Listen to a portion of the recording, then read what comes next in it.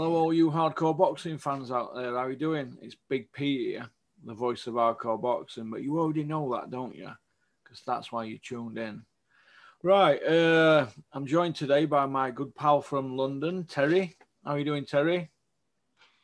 I'm all right, as you'd like to say. No, I'm all right, mate. Just right. like, like, like we said earlier, man. It's uh, it's a quick turnaround from having watched the Brook fight to getting up and recording this. Yeah, yeah, it's uh, it is. I do apologise, mate. It's only uh, 11 a.m. you had a, did you have a few beers watching boxing? Man, not at all. You know what it was, Russ? So basically, right.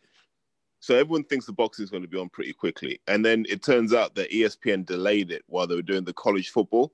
So I think it was I, I can't even remember the teams. Was it the Florida Gators against Arkansas? Basically, yeah, go on, sorry. Yeah. So the, the so Florida were absolutely dicking the slot. I'm not gonna lie, Russ. They were smashing him, and it's like like five minutes to go in the game, and you're like, just call the game off. Like you know when like in American football, they need to have a ref just wave it off because it was like 60 points to 10 or something. It's like you can't score enough points now. Just just let the game be done and let's get the boxing on. So we lost about 45 minutes. And then, like you, I don't know if you heard about the boxing, but Russ, like they're trying to do a video replay, and that took another 40 minutes. So by the time Kell Brooks walking out, it's about half four, quarter to five. Hmm. Yeah, it didn't finish about 10 past five this morning, and it only went 10 minutes, the fight. Yeah, it wasn't really that long. I mean, I think Crawford was pissed off. He was like, "Look, I need to get home." So Kell Brook basically got 150 grand a minute, didn't he? That's, that's good work if you can get it.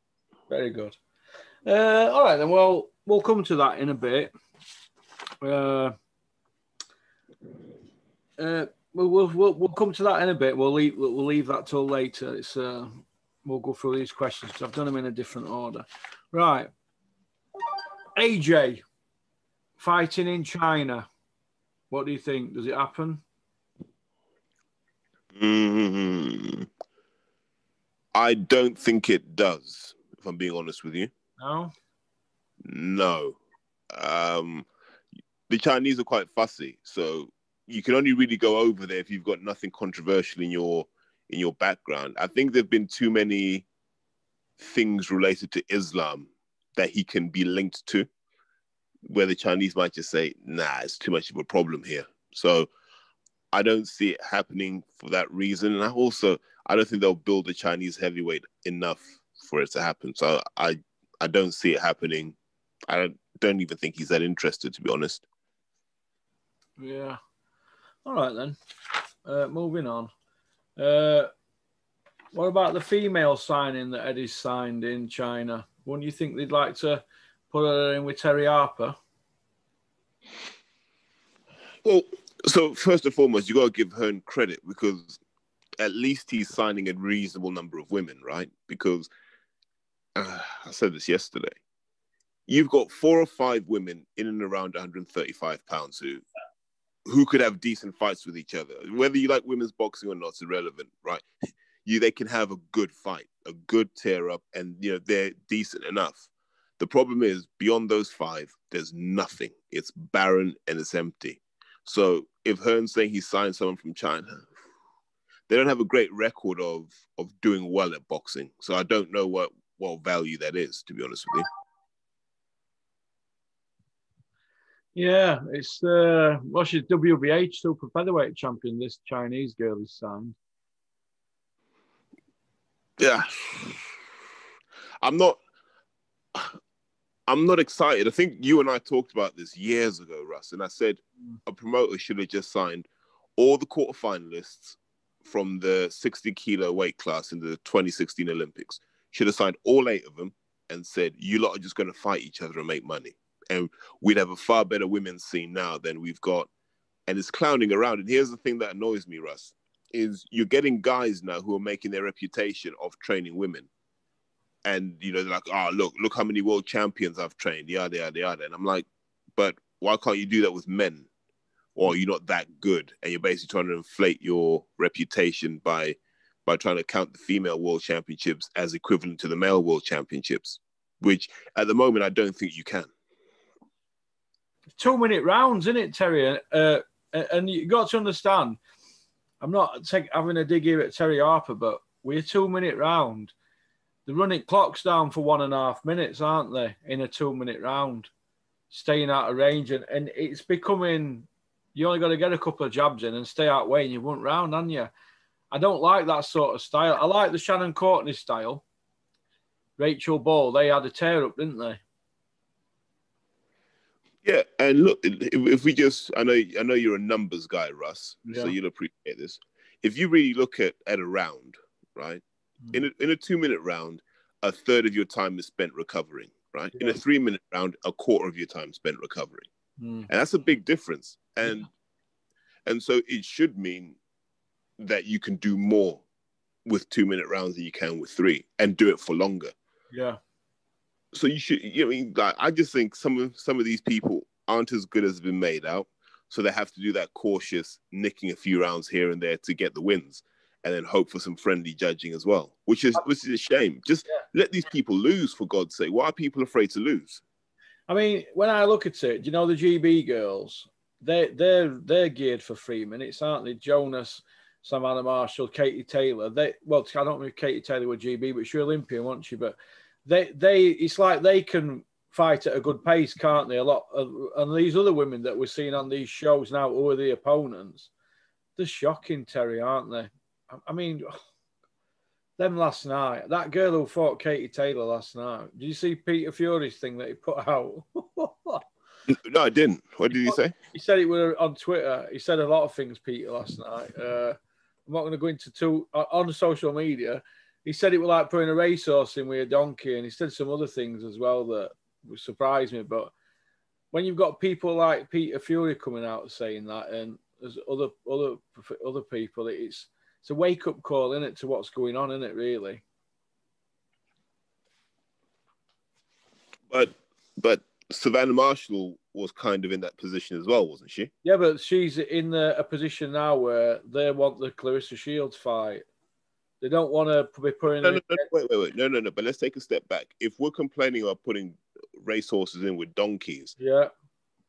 And and look, I like Peter, but Peter's a boxing man through and through. He understands what the game is. Yeah. Savannah Marshall had to fight Hannah Rankin. Now, let's be brutally honest. We Savannah what Marshall happened in that fight, didn't we? It was an easy win for Savannah, wasn't it? It was hard to watch because Savannah Marshall could probably box at 81 and still look in good shape. Yeah I don't think Hannah Rankin is even a middleweight. No, she's a light middle tops. So that, that the weight difference was too much. The size difference was making, too much. The point we're making is let's have proper fights. Let's have Clarissa Shields, Savannah Marshall. I can get behind that because it's they're going to go at it, aren't they? Now uh, it's all about level. Shannon Courtenay and Rachel Ball went at it, but they're not on Savannah and Clarissa's level, are they? No, but it was a compelling fight and yeah, that's what I want to see that again. I thought Ball nicked it.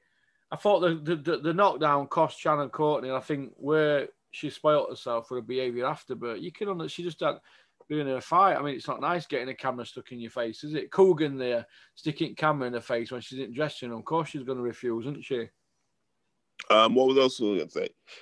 And when you when you get these women together, it doesn't always have to be a replica of the men. Like this whole dragging out someone's career and padding out their record.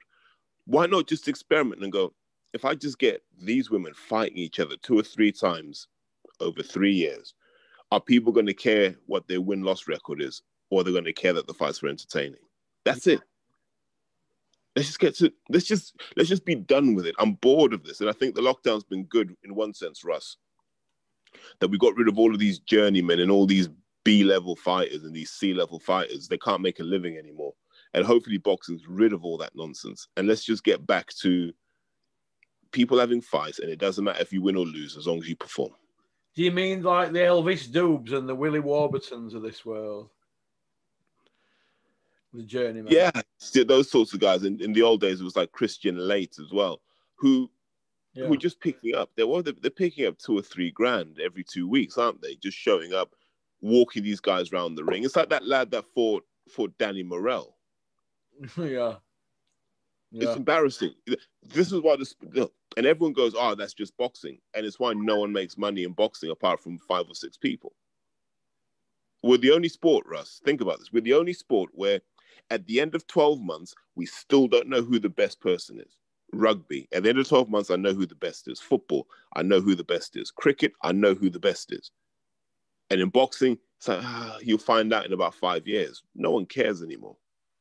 Yeah, another another thing I want to touch on, but good good point about the journeyman thing because obviously I, have I, have seen that close up and they turn up and and the parking up in Range Rovers, aren't they?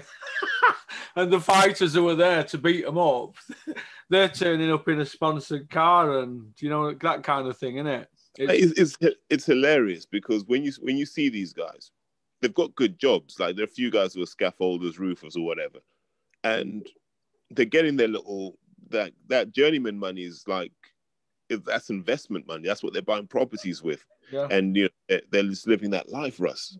Yeah, I know. Yeah, I know what you mean. Yeah, I've seen it with my own at, eyes. At our expense. Think about this, Russ. It's at our expense as boxing fans when I first started with Dennis, I says, "What's he, he, he doing over there, him?" So he has got 14 plate Range Rover about nine month old. He goes, "Oh, that's so is it?" I goes, "Journeyman, what, what is he doing? Is he bang at it doing gear?" He's like, "I'm not going to say which fight." He says, "No, no, no, Journeyman, they do well." And I said, and I was like, I couldn't get my head around it, and I thought, "No, he's, he's got to be taking piss out of me here." And as obviously, as my eyes started opening to it all, I'm thinking to myself We've got British champions fighting for European titles, driving decent cars, but they're like Astras. We've got journeymen driving Range Rovers and BMW X6s and wearing watches, really nice watches. I'm thinking to myself, it's all back to front, isn't it? At that level, yeah. Like, and you don't have to sell a ticket. Russ, you don't have to sell a ticket, up. do you? Yeah, you just show up, take the guy through the rounds. If he gets a bit happy, dig one in his ribs and say, "Nah, slow down." You know, you you're, you're literally in there talking the guy through the fight. Just to get the prospect used to fighting under the lights and bringing him on. It, it, it's, it's, could you imagine bringing a journeyman on to play for Liverpool against Real Madrid? We're going to just let you have a little run, just have a move around and that. Don't worry if you lose ball and that. Could you imagine that? uh, Liverpool have had a few of those guys like Djimi Traore and Igor Biscan. They've had they've had a few passengers in their team over the years. Hey, Djimi Traore saved one line off Shevchenko, didn't he? In, uh, in AC Milan finally in 05. Do you remember that? Yeah. Team Djimi Traore. but when I think of bad players, I think of Richard Dunne and, and, Titus uh, Toby Bramble. Bramble. hey? Titus So Anyway, moving on. Uh, we've spoke about women's boxing, haven't we? So I'll cross that one out. Fury Wilder. Do you remember me a couple of months ago saying it's going to end up in court? And everybody said, Porky, you're a hater. And I said, look, do you think somebody of Al Haymon's status, who is a lawyer, went to Harvard, is just going to let a third fight like that slide? Well, it looks like the the the at it, doesn't it, with legal things and Oh, so it's getting messy in it. What do you think to that? Oh, now, Porky, you are a Fury hater, though. Like, let's not lie. You know, his, his old man was calling you out. right, loyalty, don't I? Me, yeah, loyalty. That's what I like. I don't like disloyal people. But Has what... his old man rung you up yet? No, John Fury can ring me anytime. I've got his number. He's got my number. Ring me anytime, oh, John. It's all right, John. Nice fella. But here's the thing, Russ how many big fights has Fury really got left? Right, he's got he's definitely got one with Joshua, maybe two. Yeah. And then who do you want to see him fight? Really? Do I want to see him fight Dillian?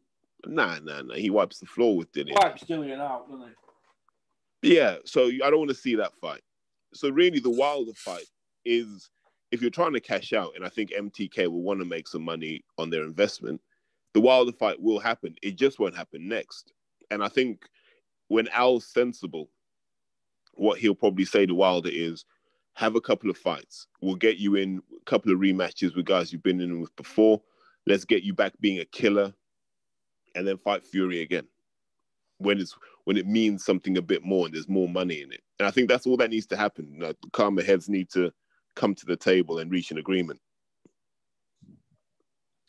Yeah. Uh, so do you think that they'll they'll it'll not end up in Supreme Court or wherever they're talking? You think they'll just work a deal out? It's like the whole Canelo thing, isn't it, Russ? There comes a point when you're like, are we just going to spend millions suing each other, or are we just going to come to a way, come to an agreement on how we split the money and make money? That's all it is. Do you remember when Froch left Mick Hennessy and our our Devode? He went to Mick Hennessy. Um, Mick took him to court and they settled. And I said, "Well, are you never going to have a contract again?" And Carl said, "No, I'm not." I said, "Well, why, why, why, we still with Eddie Hearn?" So I've got an handshake with him. Eddie's like him; they don't like litigation.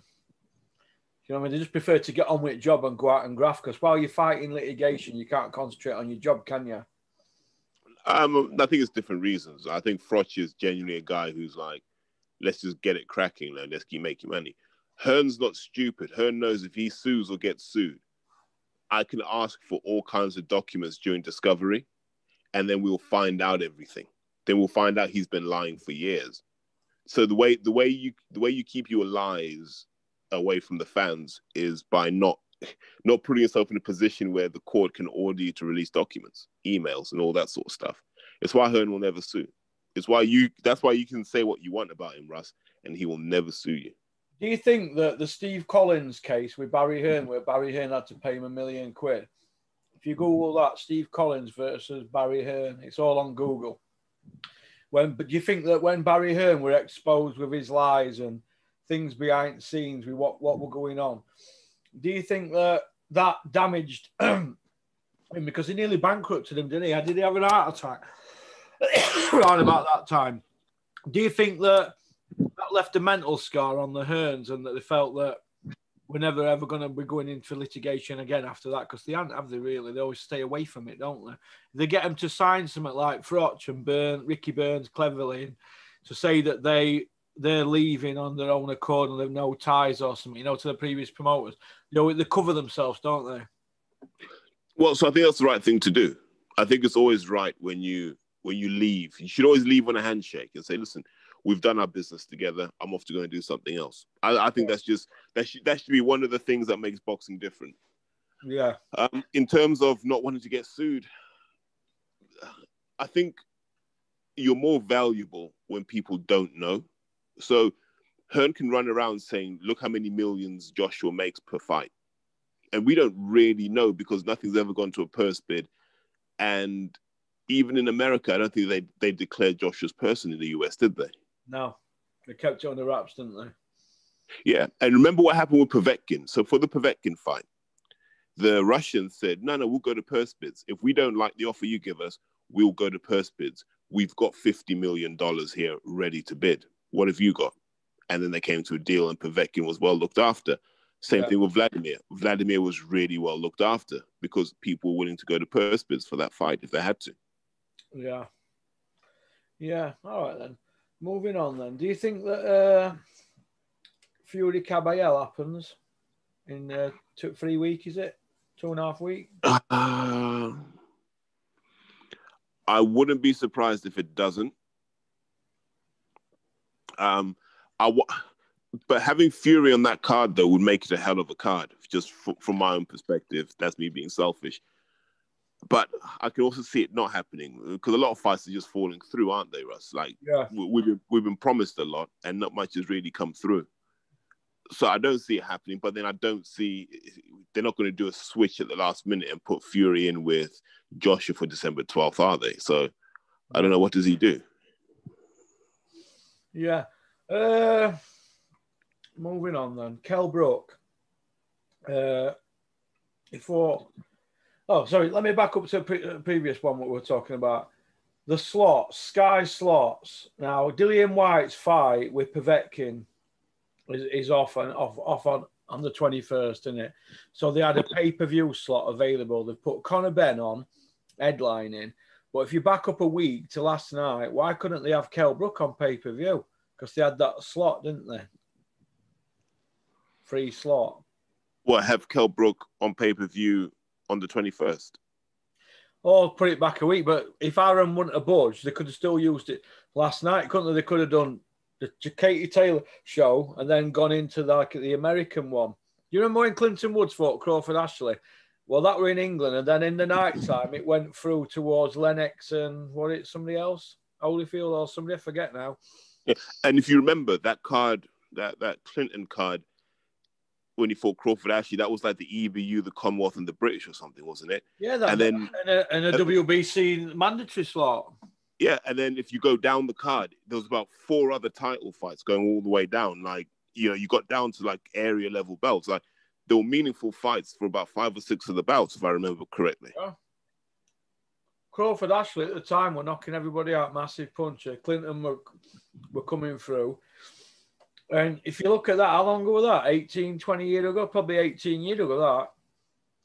No, it might, might not have been that long. I don't know. It was no, a long time ago. 99, wasn't it? 99, 2000. 99, might have been. It's a long time ago, that, isn't it?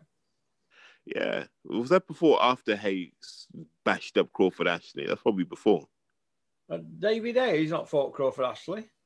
No, I think they sparred and David put, yeah, he put hands on him. Oh, David put hands on him. Yeah. Did he? Yeah, and he was like, he was young as well. Oh, but I'm just saying, going back then, that uh, the the the pay per view slots, they, they, did a they did a going into an American one, didn't they? Clinton and Crawford. Then in the and then in the early hours, it sort of went to America. Why couldn't they do that last night with Kell Brook? They could have had English show and then gone straight to the American, couldn't they? Can I be honest, Russ? It wasn't a strong enough card to justify that. What the the the Sky one last night? No, well, both of them. Let's let's be honest, right?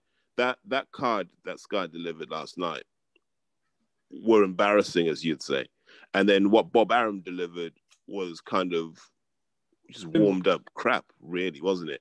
And and look, look, no one can try and convince me a 34 year old Kell Brook is a main event attraction. Sorry, man, not with the way that he's lived his life, yeah. not with the two damaged eye sockets, not with the Dominic Fuki, some Spanish waiter guy that he's got. Not with no, not with all that. He's not a main event guy. Yeah, he's not. He's not. He's never been serious about this thing. Mm. Do you know what I mean? He he has not been serious about this thing, and he's he paid a heavy price last night. Yeah, he did. He paid an heavy price. Uh, oh, well, we might as well talk about the fight then last night. The rest of the card were dog shite. But what did you think to the card? And I also want to talk about Andre Ward and Tim Bradley because I think them two, Paulie Malignaggi, uh, uh, are, decent, aren't they? You know, behind the mic. Ah, it, it, it, it's tricky. I think sometimes you can just hear an American accent and we just assume that they're better automatically. So I think Andre is really good because you know what? He's just the same way. The same way as when he just slapped Carl Froch about. He was just measured with it. Oh, just prick. ran out of rounds. Froch ran out of rounds. He had a bad start because he tried something different. To he were he were collecting data and then he put it on him. Mate, mate, it was still buffering by round 12, wasn't it? Listen, if it had been a 15 round, rounder, Froch should have done him. I know. I think it would have been like, please restart, Carl. no, mate. So about Ward and uh, Bradley. Um, I think I think Andre is really good. So Timothy Bradley blows hot and cold. He says some stuff. Like you think about this, that whole fight, Tim Bradley's talking about Kell Brook as a welterweight, and we're all there watching, going, well, why didn't you fight Kell Brook? Do you see what I mean? Like, like no one even asked him, Tim, you were welterweight back then. Why didn't you fight Kell Brook? No, no one knocked it back, didn't he? When he were mandatory for WBO, he knocked it back, didn't he? Yeah, so so that would have been an interesting story to know, you know, what what what Tim understood about him. But they, they play this corporate game. They're, they're no different to to what we have over here, Russ. It's just that they've got an American accent. They love yeah. the gig too much. Yeah, so, so really you know, know who I like now as pundits. Yeah. I'm not sure. Because if you think about it, right, they stick it to people who aren't signed with Bob Arum, but the people who are signed to Bob Arum, ah, mate, they're they're just like Sky. So so we like Andre Ward because he said Josh was carrying too much muscle, but Josh is not an ESPN guy. We don't see them really criticizing the ESPN guys in the same way. Yeah, Let's I forget. noticed that. I noticed that last night. Yeah, so so they have they have company man syndrome there too. So yeah, yeah. Oh, it's called company man syndrome. That's a good one, that. Yeah, but no, I genuinely I like those two together. But they've been mates since they were kids, so they've known each other for years. Oh, have, Tim Bradley and Andre Ward. have they? Oh, did they go Olympics? No, they fought they fought each other as amateurs. I think Tim was a little bit older than Andre Ward, but they fought each other in the amateurs at something like 75 kilos, which shows you how big Tim Bradley used to be. Bradley wiped Darren Barker out in amateurs, didn't he? He was a good amateur. Like he had the same style in the amateurs as he does as a pro, just hard as nails. Mm. Yeah. But wait, in terms of the fight, it, it's everything I believe in life. There's some people who are poodles and there's some people who are pit bulls. Last night you had a poodle in with a pit bull. You know, as soon as Crawford said, "Right, I'm not having this guy take the piss out of me," soon as he just went, just he switched to southpaw, and that right hand and Kell Brooks' world went upside down in a heartbeat. Like Kell, I don't know if you remember in the WWE when the Undertaker would just jump over the top rope and land on someone like Brock Lesnar. Yeah. It looked like Kell was trying to jump over that top rope and hit someone in the crowd. Honestly, Crawford hit him and he took about, I don't know, six or seven steps away. And I was like, this guy's looking to quit already. And I think Crawford knew that. I think Crawford knew as soon as I hurt him in and around that eye area, he would just look for a way out. All come flashing back to him, didn't it? Yeah, but it, look, it looked like like he was just having some some Vietnam flashbacks. Did you think he And the- quit? So, so no, so, so I think there are two things, right? There's quitting, and that's like I don't know if you remember the guy that just walked out the ring before the bell even rang, the heavyweight guy, I forget his name. He just walked out the ring, Porky, didn't even take the fight. So there's that. That's quitting. I think sometimes these boxers look for the ref to just end it, take the decision out of their hands. And I think Kell was like, I hope this gets stopped. That's what I think. I don't know if he if he'd had to do the 12, would he have done the 12? Probably. But yeah, I think he's like, look, I've got my two million quid. I don't have this in me anymore. You know, I, I I managed to do what I had to do to get one last payday. Here you go. But Crawford, Jesus, man. Like he Crawford's that that rare human being where he's just horrible, isn't he? Like you you look at Crawford and he's a guy who who looks like if he wasn't boxing, he'd be moving 50 kilos a day Yeah. between Nebraska and Miami and Los Angeles. He's he's that sort of ruthless guy. Yeah. You see what I mean? Be that He's guy, uh, Harry O, wouldn't he? Yeah. It'd be Harry He's- O, wouldn't he? Him who uh, bankrolled uh, Death Row. yeah, no, exactly. That's yeah. And and he'd be that he, you know, he'd be that small guy that no one even bothered. Like you know, he'd be sat there in the pub and you just leave him alone. Everybody, everybody would be ringing him, and you, you wouldn't even get to sit with him unless you wanted a full bird, would you? Yeah, exactly. And he's just he's in everything he does, he doesn't give an inch. Do you see what I mean, Russ? He's just ah man, he's he's impressive in a lot of ways. The problem I think Crawford has, and I tweeted this not long ago, he's gonna suffer from the Mike Tyson syndrome, where we reward him for the way that he beat people and not necessarily for the people that he beat. So I think Bob Arum's got to dig in his pockets and start paying for these opponents now, like uh, Errol Spence and so forth.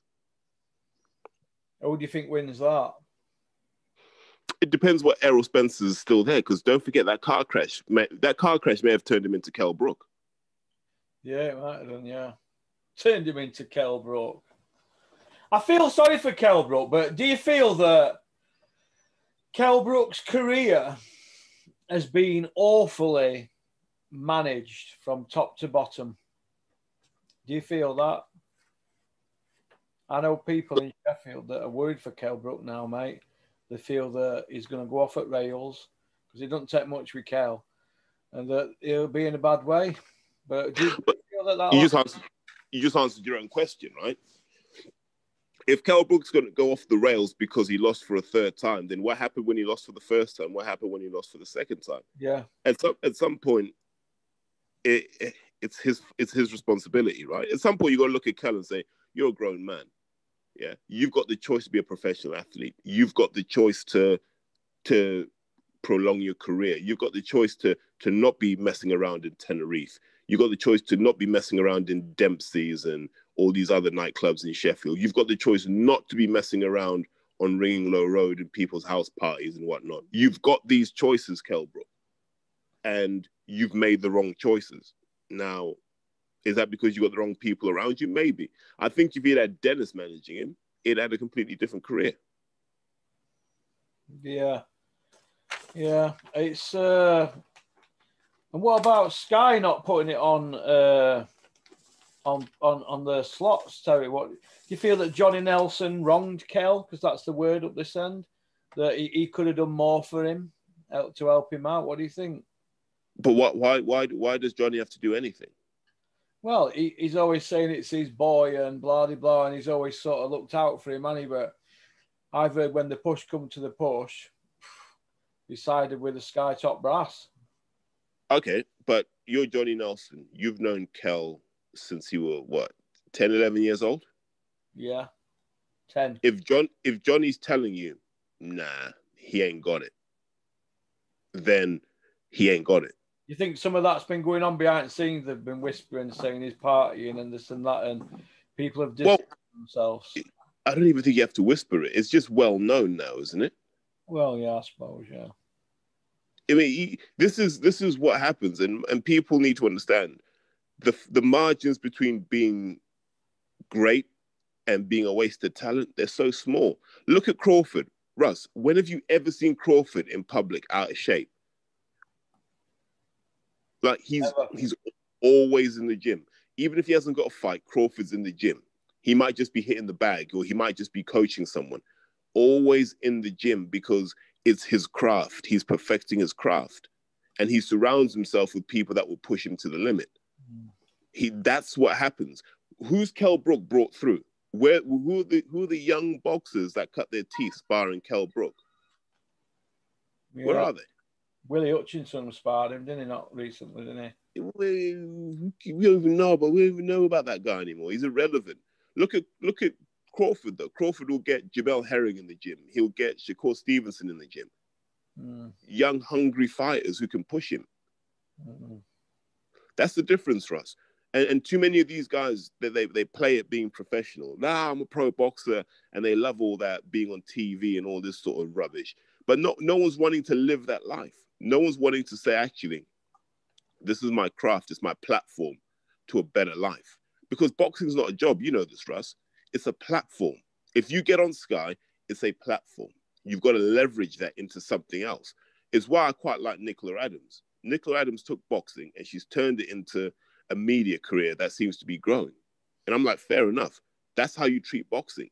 If you don't use your time in the limelight to build a business that will carry on after you retire. You're an idiot. Yeah. What next for Kell Brook now then? Do you feel that the rumours uh, uh, doing the rounds that he's going to keep fighting? Because there's two sides to the story. There's one rumour doing rounds. He's going to keep fighting. He's going to come back to Sheffield and train. But it could be Coldwell or Dominic. They're the two names being thrown about or or like we've just spoke about, the other story is it'll go off the rails. Which do you think he'll do? Because he trained with Coldwell before, didn't he? Didn't, didn't at some point in his career? I think I think I think he'll do both. To be honest with you, mate, I think he'll go off the rails. He'll blow he'll blow a couple of hundred grand, and he'll go right. Let me just sell my name. I'll sell my name to whoever loses between Danny Garcia and Errol Spence. I'll just sell my name so they can rebuild and that's what you'll see. Now, who will train him? Uh, he should just go with Glyn Rhodes. Just for, forget all the nonsense. Go with the best trainer in Sheffield. Just go with Glyn Rhodes because you know, I think Smedley's retired now. So just go with Glyn Rhodes. Yeah. Glyn Rhodes don't get uh, much kudos, really, does he? Do you think it's because he and had a British champion, or do you think it's because he don't put his son in the mix and kiss ass to be around that scene? You think? What do you think? Glyn's gonna slap me when I say this. I think it's because Glyn is better known for his community work than he is for his professional boxing work, which I think to, for me is respectable. I really respect that. But I think to the casual boxing fan, it means you don't see him on on these channels talking this, talking that. He's not doing the podcast. He's not he's not doing the media circuit. Because if he did, then I think people would look at him differently. Because yeah. like Glyn Rhodes' story is fantastic. Yeah. And he really knows boxing. Like he's not one of these, you know, like like these box these boxing trainers out the East End who are two hands up and just run around like a robot. He's a guy that's got some movement to him. He, I mean, he's he knows how to make you slick if you if you're capable of being slick. So I quite I just like Glyn. I think he's a good man. All right then. Moving on from Kell, then we wish Kell Brook all the best, Babby. Wilder, has his head gone? We don't know, Russ. That that's what's really difficult about all of this. Like, you got to let boxers have their delusion, right? Because you think you're getting paid to get your head punched in for like 36 minutes. So you've got to have a bit of madness about you. Like, you're not going to be wired right. Now, is this Wilder being who he's always been, and we're just seeing it differently, or or is this Wilder having been thrown off his game? We don't know yet, Russ. I think we just got to see how this one plays out. Yeah. But the key thing with him is he's just got to get back fighting as soon as possible. Like, stop waiting for Fury. That fight will always be there. Just go and jump in with someone. I don't care who it is. Go and fight that. Uh, what do you call it? Uh, go and fight that Otto Wallin that Fury fought. Just you know, just rebuild. So, give us some. Brazil. Again. Yeah, give give us something that will give us hope that the old Wilder is still there, and then let's go from there. All right then. Uh, yeah, there's a good one here for you. Liam Williams against is it Denzel Bentley who beat Heffron other night? Do you think that'll yeah. happen, or do you think the, the the the talk is Heffron Bentley trilogy? Who wants to see that? Well, hold on, hold on. Who, who sent that question in? No, these are what I wrote out myself. These. Yeah, but look, look at Russ, mate. Why, why, why are you, why are you trying to let, let Denzel chill, man? He's been busy this summer. Let him, let him have a few months to rest his body fighting Liam Williams. Liam's got some Demetrius Andrade issues to deal with. You know, then, Denzel will see after that because, you know, I think we need to remember number one, I thought Denzel won the first fight, so I thought the second fight was unnecessary and shouldn't have happened had the judges done their job the first time round. Yeah. But I think the important thing is you got to remember Denzel barely had 15 fights, has he? You, you're, you're British yeah. champion in about 15 fights. Mm. So they've moved him really quickly. And let's not underestimate how good Heffron is. I know people say, oh, he's washed up. Heffron's still a decent fighter. He looked in good nick and he's still relatively young. Yeah. I think Denzel's got to British level but my worry is people start saying stuff like he needs to fight this guy, he needs to fight that guy. Anyone that's got these thoughts, can you just say nothing? Don't say anything, stay out of it. What Denzel needs to do is have a few fights where he can now work on the boxing education side of things. Because he's he's got to where he's got by being a decent boxer with power. Yeah. But at that world level, as you know, Russ, that's not enough. At that world level, you got to make little tweaks and little adjustments, like Terence Crawford did you've got to be able to to make changes in real time. You got to try things. If that doesn't work, try something else. And to do that, you've got to be a well-educated boxer. And I think Denzel needs to now use the time wisely to to bed in that education. Because I don't want I don't want him being rushed and he's having to survive on his power and so forth. Because then he's not going to enjoy the experience. And I think a lot of times boxing is about enjoyment. So Liam Williams is on his own path and like he held the British title for a long time. He's been in and around that level for too long. Because did he fight Liam Smith for the British as well? Uh, yeah, I think so. Yeah, I'm not sure. They did fight though, didn't they? Yeah, so so he's been at that level, at that top British level. Liam's been there a long time, so you can't really have him against Denzel. Like that's it's not the right thing to do. Denzel's looking at these guys like you know a few tick over fights with guys like Marcus Morrison, for example, let him let him get in with someone like that. Let him fight people of his generation, and let's see what he does while he works on his education, and then kick him on. You like you always say, Russ, you got to do it the right way. All right then. Uh, George Groves, James DeGale, Nathan Cleverly, Carl Zagi. They could you imagine them at Sky and being company men? Um, seem to have walked away, don't they, from the sport? So George is still in the sport. So George I know was he's like a, he works for that man, advisory advisory role or something management group or something. yeah, so George is still involved. James isn't, but James is still in the gym. I'm not. I'm on about TV work though. They don't seem to be getting a look in, do they? Or they or they're not bothered. Well, George has got Channel Five. Yeah, but I'm on about on Sky. Yeah, but there's more TV networks than Sky Porky. Yeah, I know, but I'm just saying George has done work for Sky, hasn't he? Yeah, but there's only so many slots. So let, let's Yeah. let's let's go let's go through the Sky slots, right? Yeah. Adam Smith ain't going anywhere. Yeah. Macklin's not going anywhere till he gets bored. So that's two slots locked down on the commentary side.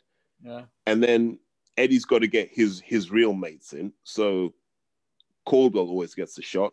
Bellew always gets a shot. And even Froch gets a shot, right? So you, you got five people there. Then you got Johnny Nelson and Anna. By the time you, you got eight or nine people that Sky carry with them, Russ. Yeah. So it's hard to, to bring people in and out. yeah. Yeah. And so, and so, so, so if, if you've got the question of are Sky using the right people, my answer is probably not. Do I think George would be better?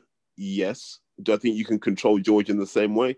No, he's too rich. In the same way, they can't control Froch. Froch is too rich to be controlled.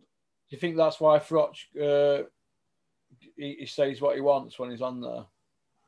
But I think I think that's just who Carl is. Yeah. Like he's one of the people who, uh, how do I put it, Russ? He's been successful being himself, so the public are used to that. Other people got successful pretending to be something else. He didn't. Mm. So fair play to him. All right then. Uh, what do you think about Tony Bellew's comments in the Sun newspaper yesterday? Why is he in the sun anyway? I don't know if it's something that's tum- took been took with an interview. Hang on a second, I'll get it up on my phone. I don't know if it's something that's been took from an interview or what. Uh, there you go.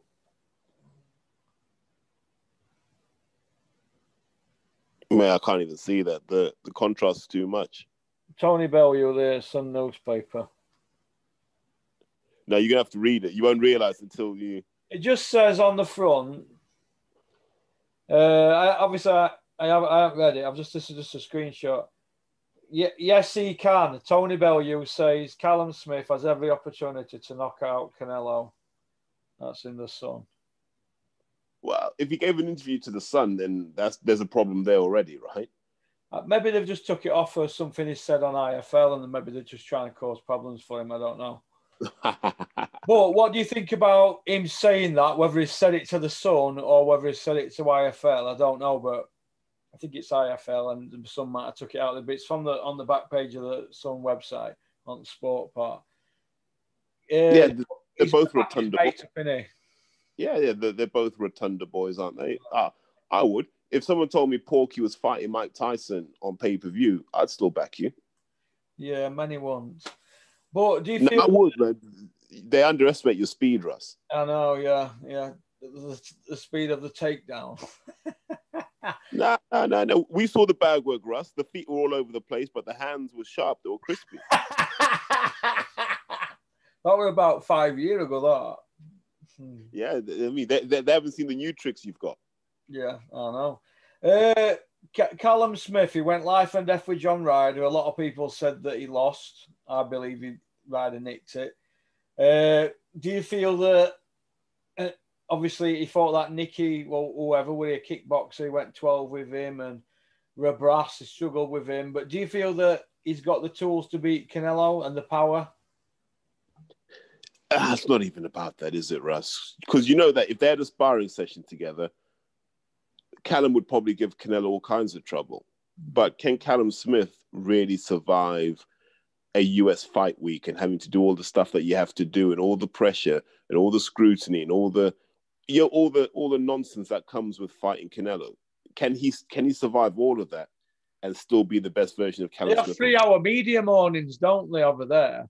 It's Yeah. quite training. Fox was telling me when he fought over there, he said, the media is unbelievable, isn't it? They all gather around you and, and, you- and you're like on a chair, aren't you? And you're swarmed by them and your mind's going 10 to a dozen. Do you think that's all to, to put you off your game plan and kind of thing? Mm, well, okay. If you look at the people who've been good at it, guys like Mayweather, they don't say too much. You see, everyone's trying to give the best answer they can when the media show up, right? Yeah. But if you're smart, you just give the answer you gave last time. That's why you know whenever they ask Mayweather, so what do you think about Errol Spence? And he just goes, Great fighter. Great fighter, talented kid, you know, still needs to get some experience, but yeah, he's a good fighter. And he says that about everyone. And that means that he doesn't have to waste any energy thinking about it. It's just the same answer every time. Yeah, it's a pity when Clinton went out there to fight Tarver and they swarmed on him. He'd never seen no like that, Clinton. And I've I've see, seen the footage, and I know Clinton, and he seems it seemed uh, unsettling for him, if you know what I mean. He never fought away from home very good anyway, but some fighters just don't take good to it. They just want to fight, don't they? Yeah, but but at that level, when you're being paid millions, Russ, you got to be able to do it all. Yeah. Otherwise, don't don't put your hand up for those sorts of fights. Yeah. Yeah. All right then. Uh, Povetkin, Dillian Whyte too. Does it happen at all? I mean, is it possible that Povetkin could go a different route? Um, they say there's a rematch clause, right? Yeah. So the fight sort of has to happen, and this is a good reason for it not to happen. My my thing is, it messes up the WBC position because if Fury fights in December, that's a voluntary. Yeah. And then the WBC have to call the mandatory. I heard for 2021. So when does that? When does it? When does the mandatory happen? It can't happen before Easter next year. And even then, like by the time Dillian's fought Povetkin, he would have been in Portugal for nearly a year.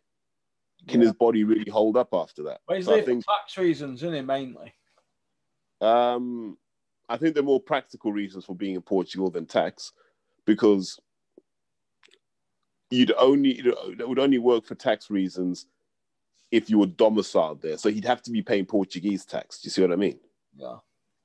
So I don't know. I don't know what the Portuguese tax rate is for for foreign foreign boxers, but there are probably more practical reasons.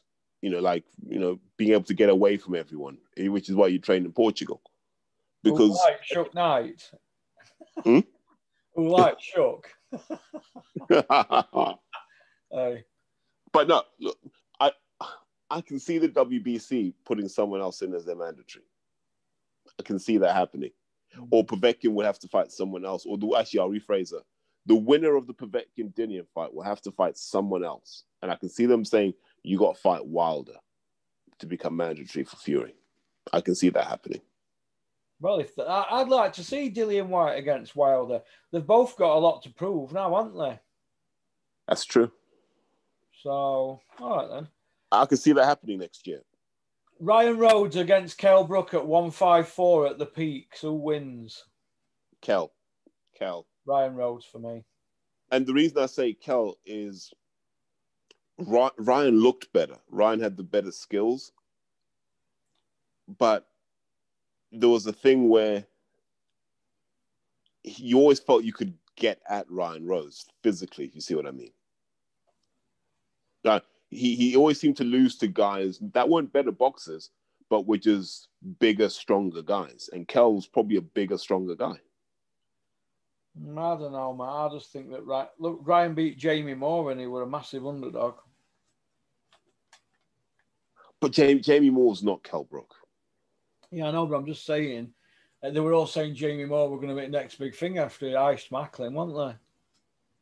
No, but uh, yeah, agreed. But you're saying Kell at his peak. At, at Kell's peak, he was a world champion and a deserved world champion. He didn't get a, a vacant belt. He won the belt against Sean Porter. Yeah. So I think, uh, yeah, I, I think sometimes we we underestimate how people were worried for Kell in that fight. If you remember, Yeah. All right. Well, we'll we'll beg to differ on that. You're going to say Kell at one five four. I'm going to say Ryan skills pay the bills. I'd even say Kell at 160. Oh, would you would you say Ryan at one sixty? No, Kell, Kell at 160, Kell at 154, Kell at 147. Oh well, I don't agree, but we'll beg to differ. The Ingle style. Uh, somebody's tweeted Dominic Ingle. I think it's Cam uh, Butty Butterfield. He, he's tweeted uh, Dominic Ingle and sent him a video of Glyn Rhodes, where Glyn Rhodes says the the Ingle style is not the Ingle style, it's the Bomber Graham style. Blah, blah. Dominic Ingles bit on Twitter. Do you feel that this Ingle style myth is, what it exactly is a myth? Okay, so so who had the Ingle style? Name me a fighter who had the Ingle style. Well, obviously Bomber Graham, Johnny Nelson. No, no, no. Herol Graham and Johnny Nelson, two completely different fighters. Yeah, but Johnny had that hands down style as well, didn't he? Like Bomber.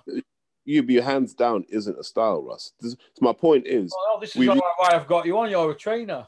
Yeah. So, so to, to say there's an Ingle style, it has to be consistent. There have to be things that these guys do where we're like, oh, switch oh. in Junior Witter. Okay, but who else switch hit really and did it well? Maybe Naz, uh, Ryan Rhodes, Naz, Ryan, kind of, but over time Ryan. Pele Reid. Yeah, come on, man! Like we're really going for Pele Reid on a Sunday morning. Porky, you kill me. Flash from the but, past.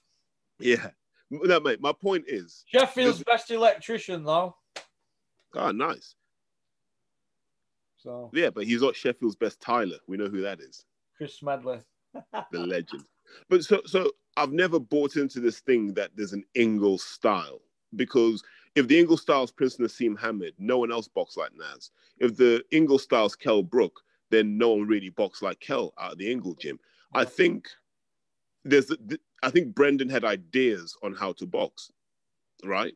Mm. But I don't necessarily think it was a style. I think that was a media creation where it was just convenient because there were loads of talented kids coming out the gym. So it's the Ingle style. He's awkward. Yeah. Ah, he's got his hands down. He's just slipping shots. And but Kell Brook's not that sort of guy. You see what I mean? Kell Kell's not a hands down guy. Kell can switch. I've seen Kell switch. He can switch and he can box well as a southpaw. But he Kell Brook's a pretty conventional guy. Pretty, he's a one-two merchant. And then you look at Ryan Rhodes. Ryan's a bag of tricks. You look at Naz. Naz had no stance. Naz had no guard really. He just he just moved and threw shots. And then Johnny Nelson was completely different to those guys as well. And that Johnny was a really conservative guy. And you know, Herol Graham was kind of between the two. Yeah. Do you feel that Johnny Nelson's style were like throwing a jab and then uh, and moving backwards as soon as he thrown it? You know, like kind of like a reaching jab. No, no, because you've seen Johnny hurt people. Like John, John, Johnny Nelson's hurt a lot of people, but I think sometimes when you start your career losing a lot, a lot of fights, you you become naturally conservative because you know what it's like to to lose consistently. So you're saying, I don't want to make those mistakes again. So I can understand why Johnny had the style that he did. Um, I think if you were taking Johnny from zero now, he'd probably box differently. Mm-hmm. But you know, they they got they got him where they needed to get him so he could win. All right then. Uh, what next for Ted Cheeseman? uh, you know, we talked earlier about Denzel Bentley and how important it is to, to have a proper boxing education. Yeah. Ted Cheeseman's the case study for what happens when you don't get that boxing education. Ted was one of the best amateurs I've seen in terms of being a combination puncher, body puncher. He could do it all. Like, there's a reason why it was him. I think there was a kid called Steve Woodall in the amateurs, and they were they were they were good they were good talents or special kids and then Ted seemed to turn pro and go backwards. Doesn't do half the stuff he used to do. You know, he now blocks punches with his face and all this sort of stuff. And I keep saying it, a lot of these boxing gyms and boxing trainers are a hoax. Like this idea that people are good trainers, it's a hoax. Like I struggle to name four really good trainers in this country. Guys who will turn you into a really educated boxer who's capable of navigating their way at world level. I can't think of many. I really can't think of many because for too long it's been an old boys club. You get to hold the pads because you're a mate of so and so. It's happened for too long, and these trainers aren't. They're not learning their craft. They're not learning the philosophy, and they're not passing it on. I, Russ, a big part of training a fighter is sometimes sitting down and talking them through what it is they're supposed to be doing in the ring. Not even from a tactical perspective, but almost like philosophically. You know, this is what you're in that ring to do. And then you set your training up accordingly. And a lot of guys don't know how to do that. Or Oh, what, what is Russ? What is, mate? I just do I just do what I was taught. You know what I mean? Yeah, they made me run 50 miles a day. So I just ran 50 miles a day, Russ. Just make the kids do that now.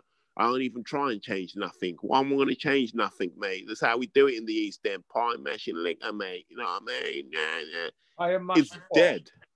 Pie mash and liquor. You know that green rubbish. Yeah, that's horrible, mate. Like food coloring and and like I don't know tea leaves, whatever the hell it is. It's horrible, mate.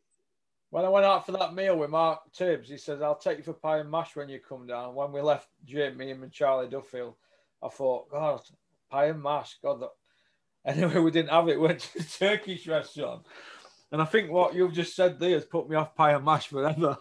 I'm glad I didn't have it. No no, offense for me- against people who eat pie and mash. Yeah. For me, I feel for Ted. I feel, and you're gonna laugh at this.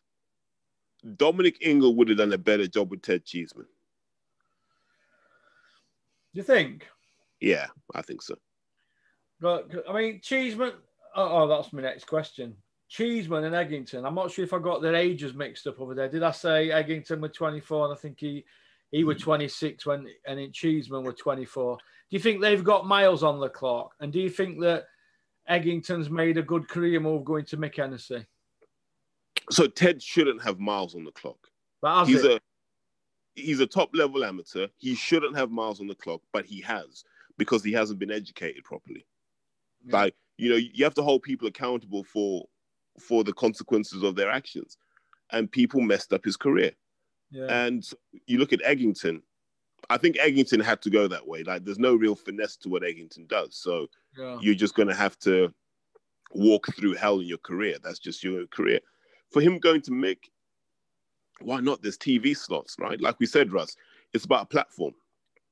If you can get yourself seen in front of three million people, mate, you're worth more to sponsors than you were on Sky. Yeah. Yeah, I see what you mean, mate. I see what you mean. Uh, all right then. Uh, here we are. Access in the bubble. Uh, don't obviously. There's a lot of people complaining that certain people are getting too much access to pay-per-view shows. Basically, it's just Coogan, isn't it, for pay-per-view stuff, which is fair enough. Uh, do you think it should be shared out more? I know they had Phelps in there this weekend, didn't they? And is it is it Rob Tebbutt next weekend? So do you think it's you think it should be more than them three? Who's doing enough numbers to justify being in there? Yeah, exactly. It's a numbers game, isn't it? Yeah. If if you're doing more numbers than Coogan and you're not getting access, I understand if you've got a complaint. If you're doing more numbers than Michelle Joy Phelps and you're not getting access, I get it. If you're doing more numbers than the rodent, I get it, right? 100% get you complaining. But you can't be whatever, man, like some guy doing 300 views per video and then saying you should be given access to the bubble. What what are you going to do for what are you going to do for them? I mean, what value are you giving them? Nothing. Yeah. Do you know what I mean, Russ? Do you feel that people, when they get in there and they're in a position of a little bit of power, do you feel that they're not pushing these people on things that the fans want to hear? You know, because obviously the the the, the old timers, you know, you Gareth A. Davis and Ron Lewis and Jeff, uh, all the rest of them. I like Jeff Powell, but and, and he's very good at, at questions, but they don't push it to how we push it, do they? Do you feel that these YouTubers should ask better questions? No, no, I don't. Do you feel No. that Rob Tebbutt's uh, reputation as being, I heard somebody, I'm not sure if it was Eddie Hearn who called him it or Coogan, the, the hardcore, hardcore.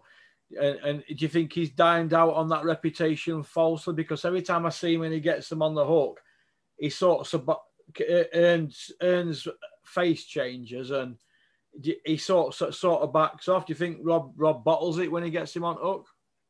Mate, I don't know what your obsession is with Rob Tebbutt for a start. You to, you, you, you need to get over this idea that he's some sort of boxing intellectual The guy, the guy, the I'm guy. not, I'm not saying he's an intellectual. I'm saying it's what people say. I'm, I'm, I'm only going what they say, don't I? Listen, he's a clown that lives in Bedford. He eats beans on toast because that, that channel he's got ain't popping off like he's trying to pretend it is. And like the rest of them, man, look, it's it's all it, it's that's a hoax as well. Let's start calling these things what they are, Russ. It's all a hoax. The idea that you can do a million views on IFL, like there aren't a million people that give a shit about boxing in this country. Like, don't get deluded by this. So, if I'm Rob, why am I going to ask the questions that the hardcores want to hear? Because there aren't that many hardcores. Do you think Do you it's because he, he he's well spoken and educated that people think, and the words that he comes out with along, do you think that people sort of think that he knows what he's on with? Well, who says he's educated? Well, I, I, I get a sense to fault time people saying that he, he, he puts his puts things over a bit more elegantly than, than out No, no, no. Okay, but- but someone show me the certificates. Where are his certificates? We don't know if he's educated or not. He's an actor. He's a failed actor. Rob Tebbutt's a failed actor, Uh, right? That that's what he is. Like he got a few gigs as an extra. That's the high point of his career. He went to drama school to become an extra, and this is who boxing fans want to call their hero. It says all about boxing fans. They will jump on anyone's nuts that asks awkward Oh. questions by accident. Yeah, by accident. He doesn't intend to do it. Yeah. Look, I, I, look, and people forget. I know Rob, and I will tell you, Rob had no intention. Once he got that that boxing social gig, he had no intention of rocking the boat because he said himself, "Why am I going to ask these questions for the hardcores? The hardcores aren't the majority of my viewers. I have to ask the questions for the majority of my viewers." Yeah. and so you get casual questions and you you get the surface level questions you know you're not going to be there trying to catch Hearn out because that doesn't do you any good and you'd only be pleasing about 100 fans who are going to tweet about it and go oh look at how we had eddie hearn rocking nah Yeah, that's what I'm, that's what I'm trying to get at. He had him rocking in an interview a couple of weeks ago, didn't he? The guy who does the show, didn't Umar. nah umar ahmed is the guy that does it the best. And i love the fact that he doesn't even intend to do it. Like he'll just ask really obvious questions and all of a sudden everything falls apart. Like like like eddie will say oh yeah yeah i'm in talks with so and so and then umar will just go what sort of talks? Have you rung them? Have you emailed them? And eddie will go this is none of your business. And you're like ah. Yeah. i like umar he, he's probably of all the people that that do the the microphone camera jockeying thing he's probably the best one of the lot Yeah, we're Team Umar, aren't we? At the moment. well we- we're team porky first and then team umar Ah, go on, lad. Uh, Tony Bellew. Uh, do you feel that his his rimming is now out of control at Sky? Um, do you think it's on another level and it's become that embarrassing that he knows it and he's just doing it anyway on purpose? Or do you think he don't know what he's do- or he, he, he don't know or don't care? wait hold on but but but I, I need to know the the the case from the prosecution Uh, the case of the prosecution is he had Derek winning seven five. Mm, Oh, that's his it's the same, but changed it to 8 4 within 24 hours. No, but that's his mate though. Like, look, like I said, like Russ, if you if you fought Mike Tyson, I'd give you at least four rounds at the start, like just because you're my mate. Yeah, but what if you're there to do a job in a working Ah, capacity? Hey, do you know what? Mates over money. Mates over money. Go on, Terry. Are we getting, are we getting Tony a pass on the Chisora card then? On the Chisora one, yeah, because don't forget all the times Bellew's been fair. Yeah. All, all the times where, where Price has been knocked out and Bellew's like, look, it's hard for me to watch this because I know how good he should be, but he's not there.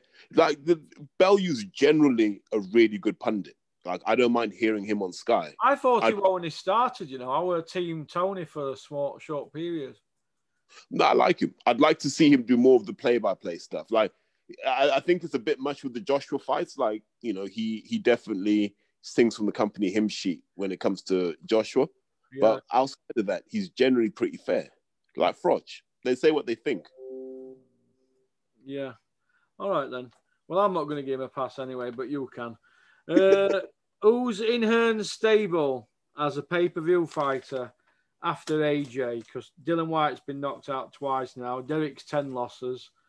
Uh, who, who's his next? Who's his next pay per view? Where's his next pay per view person if he stays with Sky? Ah, well, that's a good question. That's from me. Whew. I'm going to give you a wild card, and I, I can see them using the same approach they used for Dillian.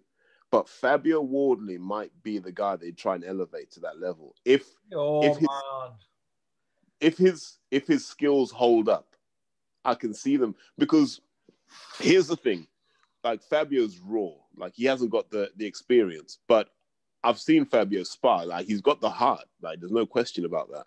Terry, you're trolling now. Come on. No, no, Russ, listen, No, oh man. no, no. Fabio Wardley pay per view, Terry. Come on. Well, no, well, Russ, Russ, not next year, obviously, right? But there's a look. If you're going to build someone, you're going to build someone like Fabio Wardley, a guy who can really talk. You know, everyone's got a mate like Fabio. Like, like you can you can see bits of you can you you can see how he'd make money, but whether his ability will take him there, I don't know. But you're looking at someone like that because there's no one else. Who else is it on a pay per view level? Dave Allen. Yeah, I thought he retired. Well, he, he retires every week, doesn't he, Dave? Every time he gets up for training. every time he gets up for training, he puts quilt back over his head and goes on Instagram. If So- so Dave- beats Fabio, does he get for British? Is he pay per view, or is Fabio if he beats Dave? No. No, no, no. I don't think British title fights should ever be pay per view. Well, Joshua Dillian, what? Yeah, and I didn't agree with that. So I just, I just don't think because the British title's of no real consequence. You can kind of win a British title. Do you see what I mean? Things can Well- just fall your way. Well, what about these pay per views that Derek and Dillian have for no belt at all? But they're beyond that level. We can both agree Derek and Dillian are beyond British level. Because the characters on IFL. No, no, they just factually they are beyond British level because they fought beyond British level. Yeah. So, so you know, if if let's say they were coming up now, and you told me Dillian versus Derek, they're both ten fights and they're fighting for the British. Would that be pay per view? No, Oh. no, no. But they've kind of crossed that bridge, Yeah. And now we know what we're going to get with Chisora. Do you see what I mean? We know what we're going to get with Dillian, and when you put them together, we definitely know what we're going to get. But to what extent is the beef real? I think we now realize it's probably not. Yeah. Oh, yeah. The, there's no beef there, is there, between Derek and Dillian? The businessmen, aren't they? Yeah, there's no beef in boxing when there's money to be made. All right, then. Question 20, I think. Sky's new deal. Uh, does it get shared out or does Eddie Earn get another five year deal? So, ah, Jesus, I've just done an episode on my thing about this. I haven't released it yet, but I think everyone stays where they are. I think the pandemic changed everything. So, just from the people I know at Sky, beginning of the year, they were looking at maybe we need to open up the platform and we will just we'll do it on a fight by fight basis when it comes to pay per view, because Sky really like Dubois. They see Dubois as the future. Like they see they've got Joshua and Fu- they've got Joshua now. They think they can get Fury, but really the future for them is Dubois. They see the future as being Yarde as well, and so there's more Frank guys they see as a future than Eddie guys. So they'd like to get those guys on the platform, but I think with the with the lockdown, and they, they have to stick to their model now. So I can see them re-signing with Hearn for another three years. I don't know what Hearn's going to give them, but I think it's been made easier because the zone looked like they're in an absolute mess at the moment. Yeah. So Hearn, you can see Hearn now backing away from the zone, just no, not mentioning it, mentioning it as much as he used to, not being as gung ho for the zone like he used to be, and he's sort of inching his way back to Sky. But hopefully, Sky will negotiate the terms better. But here's the theory I have, Russ. I think Hearn's holding back all of these fights that we want to see until he gets a better deal with Sky. So I think he wants a bigger percentage. And then all of a sudden, it'll be easy to make Fury Joshua. It'll be easy to make Buatsi versus Yarde. It'll be easy to make all of these fights all of a sudden, as soon as he gets his percentages up. All right, then. Uh, so you don't think Eddie Hearn's on his way out then at Sky now? Now, who are you going to replace him with, Russ? Yeah. All right then. Well, you just mentioned about Ernie easing up with his own, but he's all over internet this morning saying that uh, they're in talks to make Canelo and Callum Smith. But yeah, Ant Canelo just left his own. Why would he want to go back there and fight on there when he's just left him? I don't get that, do you? I don't think it will happen on the zone. I think it will happen on a pay per view platform of some sort. I don't know which one yet, but I think it'll be pay per view. Yeah. Uh, what do you think about Callum Smith? If this is true, being signed on a management deal with Paul Reddy, who was Matchroom's matchmaker, and he left, and they've signed Cal Yafai as well. What do you think about that? Paul Reddy was the guy that got that fat guy in for Fabio Wardley. Do you remember that big German yeah. lad? Yeah, yeah, yeah. That was Paul Reddy's watch. I wouldn't have that guy. I wouldn't have him managing me for sure. Well, I've just heard a little whisper that he's now managing Callum Smith. I don't know if it's true. Uh, Why isn't Joe Gallagher still managing him? I don't know. That's just what I'm saying. I'm only going on what people have emailed me. And do you think it's true? If it is, do you think it's a good move? So, if you're asking me if I'd rather have Joe Gallagher or Paul Reddy, I'd probably rather have Joe Gallagher. Yeah, but, But- Joe Gallagher just had a fallout with Eddie. So that's the thing. If I need someone who's Eddie Hearn friendly, then Paul Reddy would make sense. So it depends Well, what Callum. Yeah, it depends what Callum Smith wants. Cal Yafai, I feel for Cal. Like Cal Yafai seems to have missed the whole 115 pound division. Like no Chocolatito fight, no Srisaket fight, none of those fights. They didn't even had an Andrew Selby fight. Discarded like rubbish, Cal Yafai, hasn't he? Yeah, after that whole that, that when you exposed that 40 grand Russ in LA, Well, it was Do you true, wasn't it? That was the funniest thing ever, Russ. Where you're like, He got 40 grand, didn't he, for fighting a world title in America? and, and and didn't the didn't the network tell them that they had seventy thousand for an opponent, and then they just gave Cal forty. So where's the other thirty gone? Exactly. Well, we know where that's gone, don't we? As always, Uh, Eddie didn't Eddie bite on that. I think that one one of my last ever tweets, wasn't it? when I made my Twitter comeback. Ah, yeah, yeah, yeah. Was it him or Barry? Someone, yeah, where they're like, you don't know what you're talking about. Eddie said, "No, you don't understand how it works, or stick to making tea for Dennis or something, something like that." Off, off Eddie. Cheers, Eddie. Evening, Eddie. Uh, all right then. Uh, what we got here? Let's have a look. Uh, Would show business accept Eddie if he did did one out of boxing? Because I've seen people doing videos saying he could be on his way out. If he goes, would the show business circle accept him and how he is, or would he just be looked upon as a spoilt little Lord Fauntleroy brat? Ah, it's different, right? In boxing, Hearn's a bit of a hero because he's different to everyone else, right? He is. He as much as we may dislike Hearn, he's he's helped create this boxing world in which we're all involved in. He's helped create the Porky's Corner. Like it's that energy that brought all of this along. Yeah, So he, he he's he's high status in boxing. yeah. You take a boxing, he's just another lanky fucking prick, isn't he? Like who cares? Who are you? If he were in my class at school, I would have terrorised him, Terry. I would have got his ear every day and I would have twisted it and said, "Oh, you dinner money." I Yeah, but he's six foot five, Porky. I don't know. I would have sat behind him, mate, put him in an headlock at school, choked him out, twisted his ears up, took the Bunsen burner to his to his fancy sports bag or trainers. You know, Gripper in Grange Hill, I made him look like Mary Poppins. You know what I mean? you remember Gripper, don't you? Yeah, Yeah. Porky, the Hand it legend. over that dinner money. But Eddie Hearn, I would have terrorised. So, so think about it, right? In boxing, Hearn can lord it over people with his Rolls Royce Wraith, with his with his Gucci trainers and stuff. Once you step into that showbiz world, and I saw this when I was with David, right?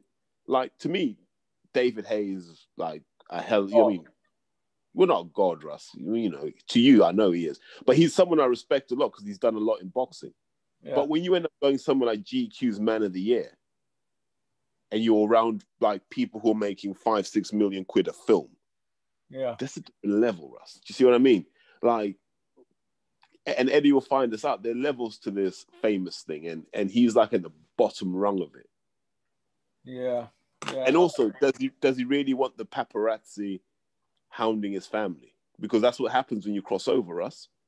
Eddie would be a tadpole in that fish pond, but whereas now he's a big, great white shark, isn't he? Exactly.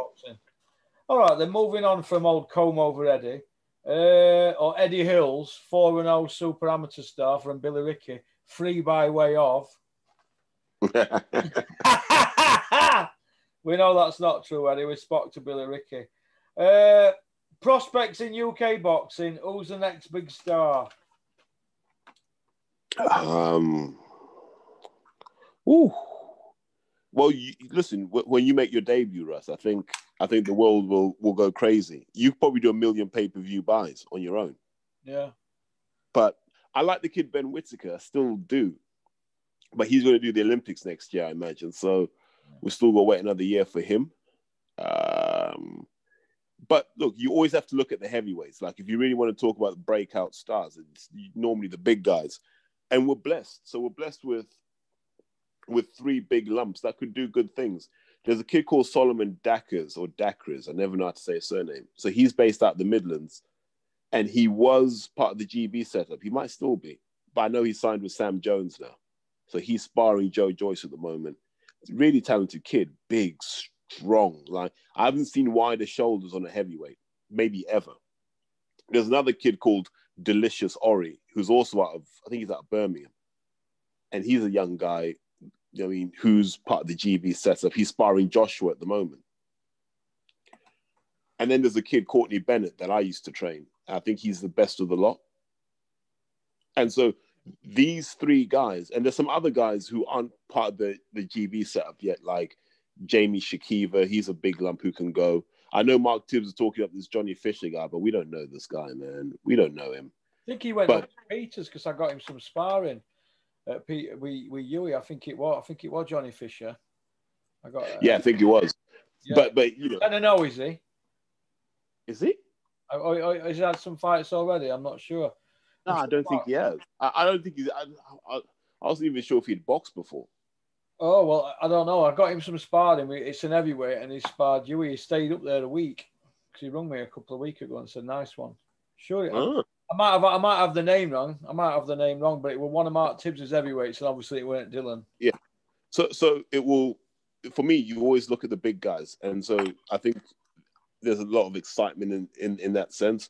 Ben Whitaker at light heavyweight is exciting, and then you're kind of scratching around. I like the look of the the 60 kilo female, Hannah Robinson.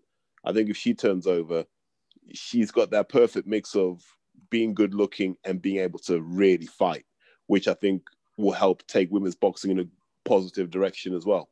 Yeah. All right then. Uh, nearly done now. Uh, Clinton Woods against Anthony Yarde at the Peaks. I don't think we've seen the peak of Anthony Yarde yet. I know you were going to say that, Terry. I know. know it. Yeah. But but I have to back Clinton, and like I'm a big Clinton fan. I'm a fan of what he was able to do. Mm. And it, like, if if if we're basing it on the best we've seen from both guys, then still Clinton. But a year and a half from now, it might be different. Yeah. All right then. Shout out Clinton and Jason Barker. I know you're watching. Hope you well. Tommy Fury, four and zero.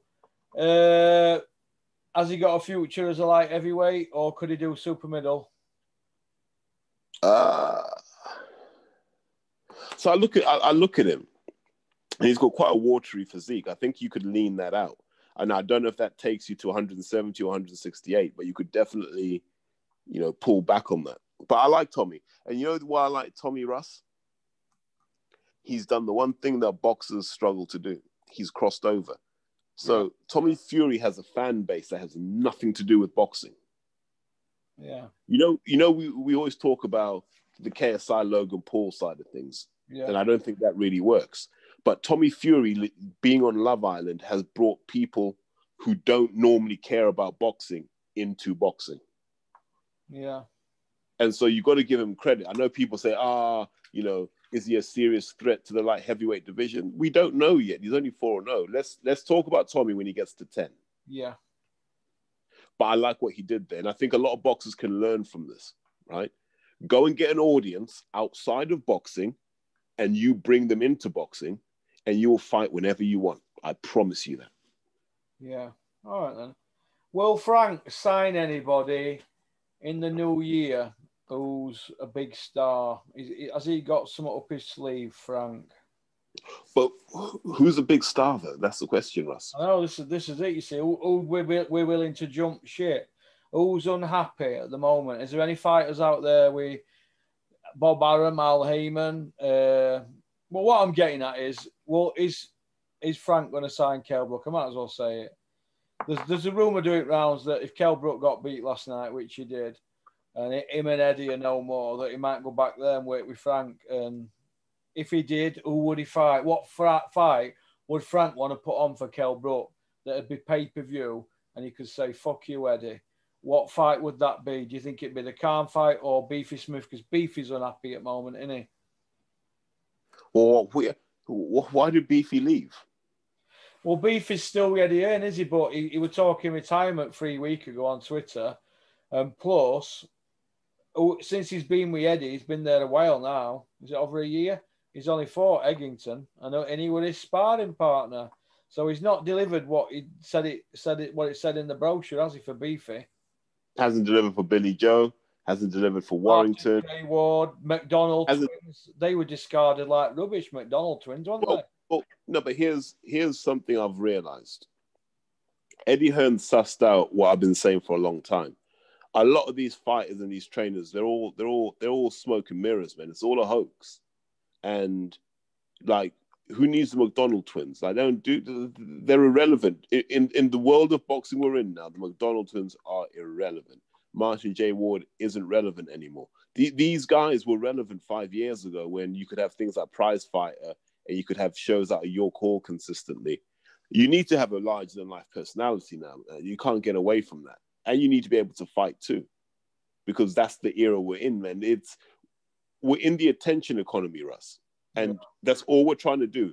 Every sport, football, boxing, we're all trying to get attention.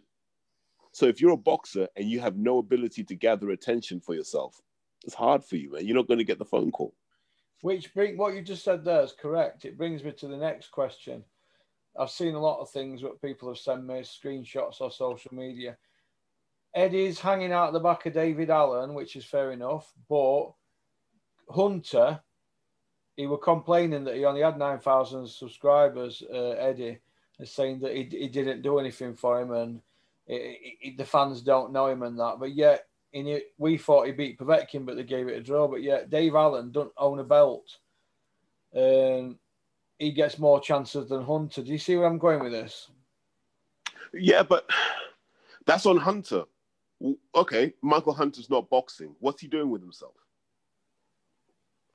Resting at home for his next session. No, no, no, no, no, no, no. What? What? You, you don't need 18 hours of rest, Russ. Like, what's he doing with himself? Clinton Wood used to work, you know, as a plasterer and still train even up to fighting for European title, I believe. So, so, so I think that that's halfway towards my point, right? Yeah, he only trained two hours a day. Clinton says, doesn't he, on that interview I did with him? So, what yeah. are you doing with the rest of your day? Exactly. So, Michael Hunter could easily be promoting himself. Michael Hunter could easily be hustling for opportunities outside of boxing. Get get on Dancing with the Stars. I don't know. Get on some kind of reality show. I don't know. Right? You can do something.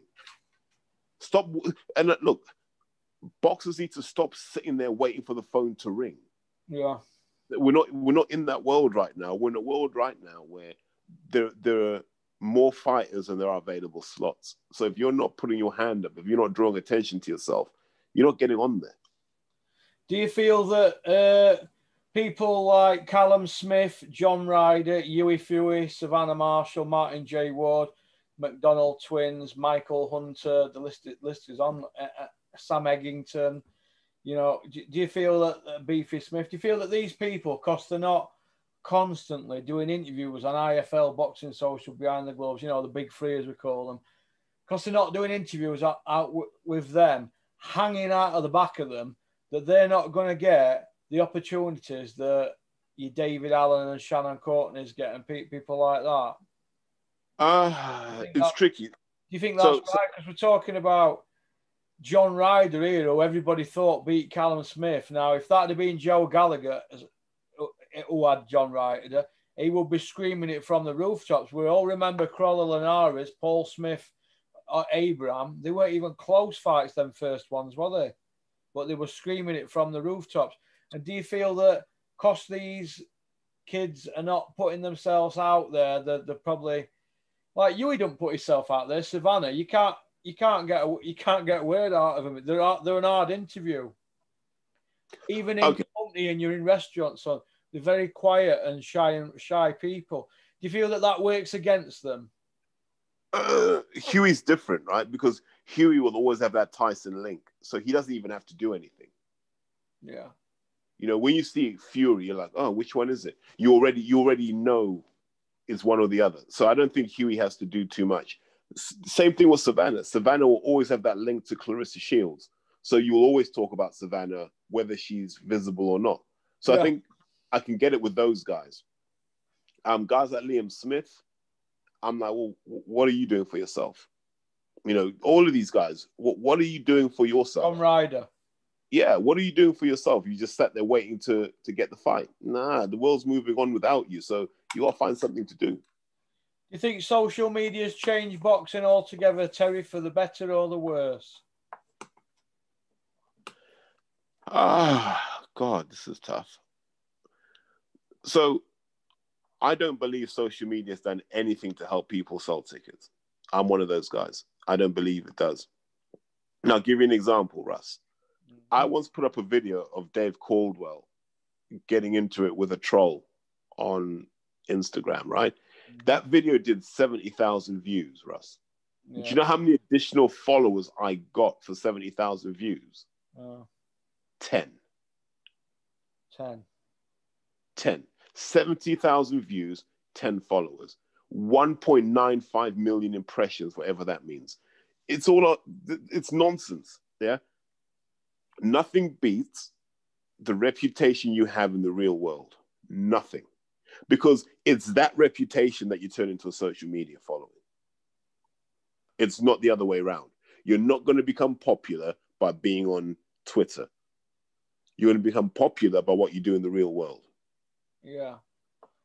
All right then. Um, You know what I was going to say, Russ? That's why when you see all these guys at Ultra Tech, sporting icons, Hatman Strikes Back, the reason their followers don't go up is because that you don't see them out and about. yeah. You don't. So I I can't work out whether this is a good guy or not because I've never met him in person. So I'm not going to follow him. I follow you, Russ, because I know you personally. Yeah. Do you see what I mean? Yeah. All right then. Uh, final question then, I suppose. Uh, Joshua Fury, does it happen next year or is it now going to be 2000? Are we going to be talking 2021 about it happening in 22, like you said? So the big if is what happens with broadcast deals and when does that get sorted out? So Hearn won't make the first Joshua Fury fight until he's signed his contract. So the earliest it can happen is the second half of next year. But I imagine the second half of next year, Usyk will be saying, eh, "It's my turn, guys." So I wouldn't be surprised if it's 2022. Do you feel that it's going to be overcooked like Brook Khan and Manny Pacquiao against Floyd Mayweather? Ah, I think boxing's a dying sport. So I think every year the boxing market gets smaller. Mm. But I think Fury Joshua transcends all of that. I think the country will stop. Two Brits fighting for all the heavyweight belts. The country will stop. That as long as the belts are still in play, Russ, that fight will never. you think that's important for all the belts to be on the line? I do. Do you think it's even more important for it to be in the UK? Yeah, I can't see. I can't see them doing it anywhere else. It doesn't make any sense. Yeah. If they did it in China or Saudi or America, would that be a bit of a kick in teeth for British fans that have invested so much time in these two kids? Well, y- yes and no. If if we were able to watch it at a normal time over here, then whatever. You know, we can still make a night of it, you know. But the people who love the live experience will miss it. Look, Russ, you know me. I always go back to Brook Golovkin and how much I loved the build-up. I still think it's the best event Eddie Hearn's ever done. Because it was the last matchroom event where the fans and the boxers just mingled freely. What what event was that? Uh, Brook Golovkin. Yeah, yeah. Yeah, so as as long as you had like as long as you got there early enough at the weigh-in, you could just mingle. Like I remember I told you this. I remember just being sat in Nando's, me, Spider Richards, Conor Benn, and Bernard Hopkins comes in and just starts preaching boxing to all of us, man. We're all just sat there soaking it in. Imagine that. Nando's in the O2. Jesus. Jesus. Somebody's just uh, text me and uh, saying that uh, boxing's dying. I get that all the time. Well, so the average age of a boxing fan goes up every year, Russ. Yeah. So where, where, where's the new blood coming in? My kids don't want to do it. I've bought them uh, all sorts of equipment and gloves, and they're not interested. Not So, so They've tried it, but they don't. They want to go on iPads all the time. It, it's uh, it's quite upsetting. It's it's weird, isn't it? The world's moved on, Russ. So if you think when you were coming up, Russ, you know, boxing was how you proved you were tough, Yeah. or karate, or whatever. Combat sports are how you proved you were tough, right?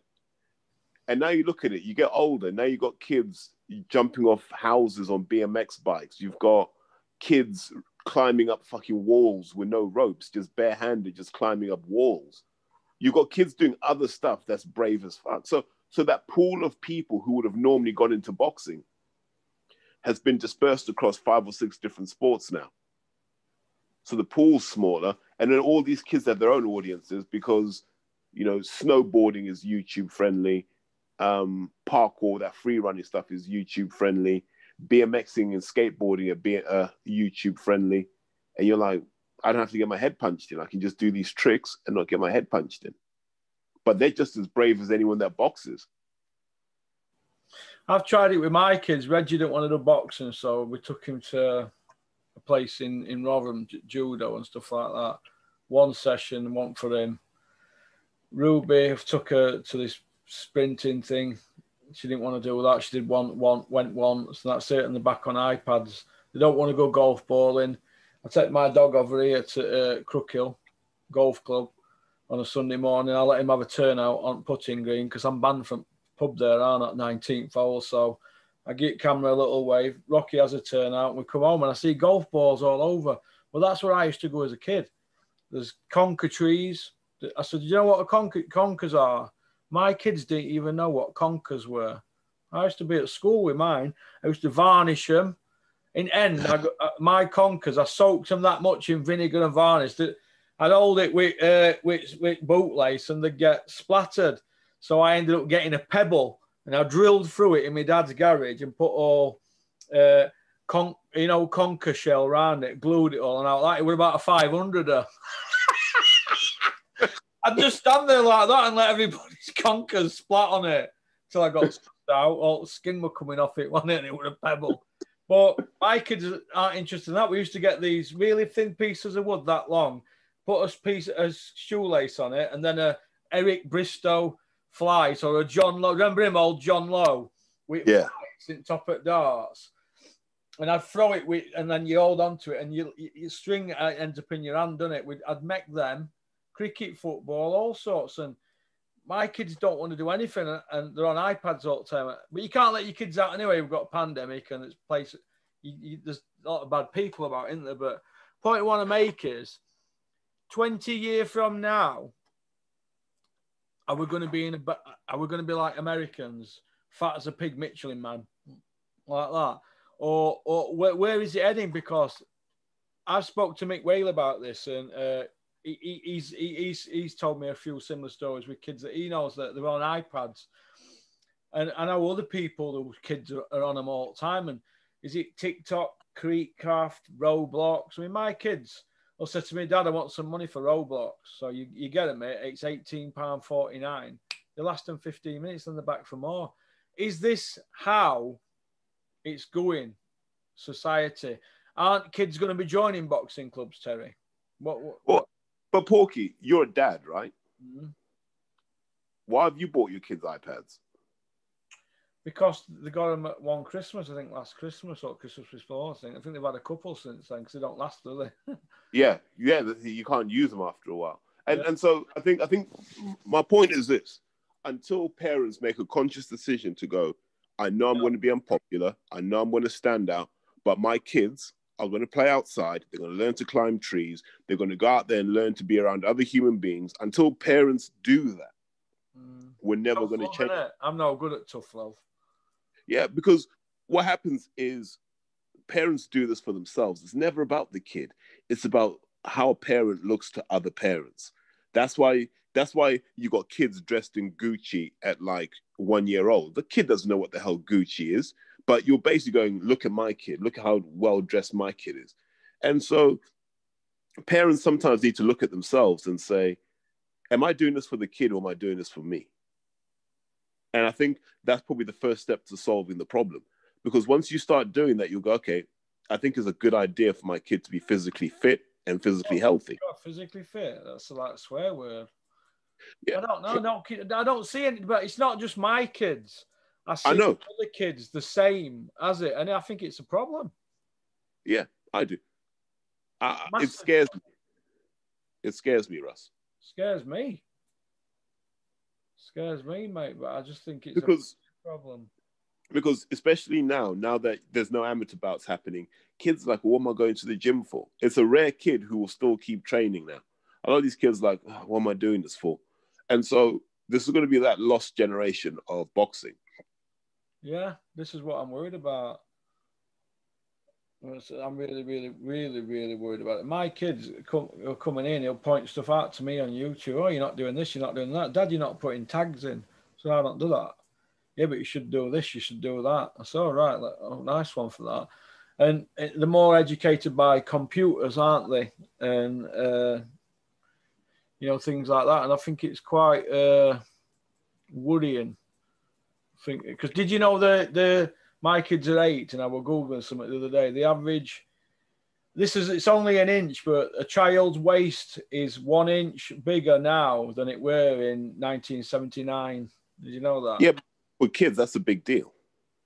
Yeah, for a- for an eight year old, one inch Yeah. on the stomachs. Do you know what I mean? And if you Yeah. go back, if you go back to 1947, from when my dad were born, it's two two and a half inch from now to 1947 because kids were out. They were out then. What they were playing on bomb sites around here with Germans. and so- So I did an interview with with my friend Greg Hackett, and we're talking about this, Russ, in terms of boxing. yeah, That the kids don't have the running in their legs anymore.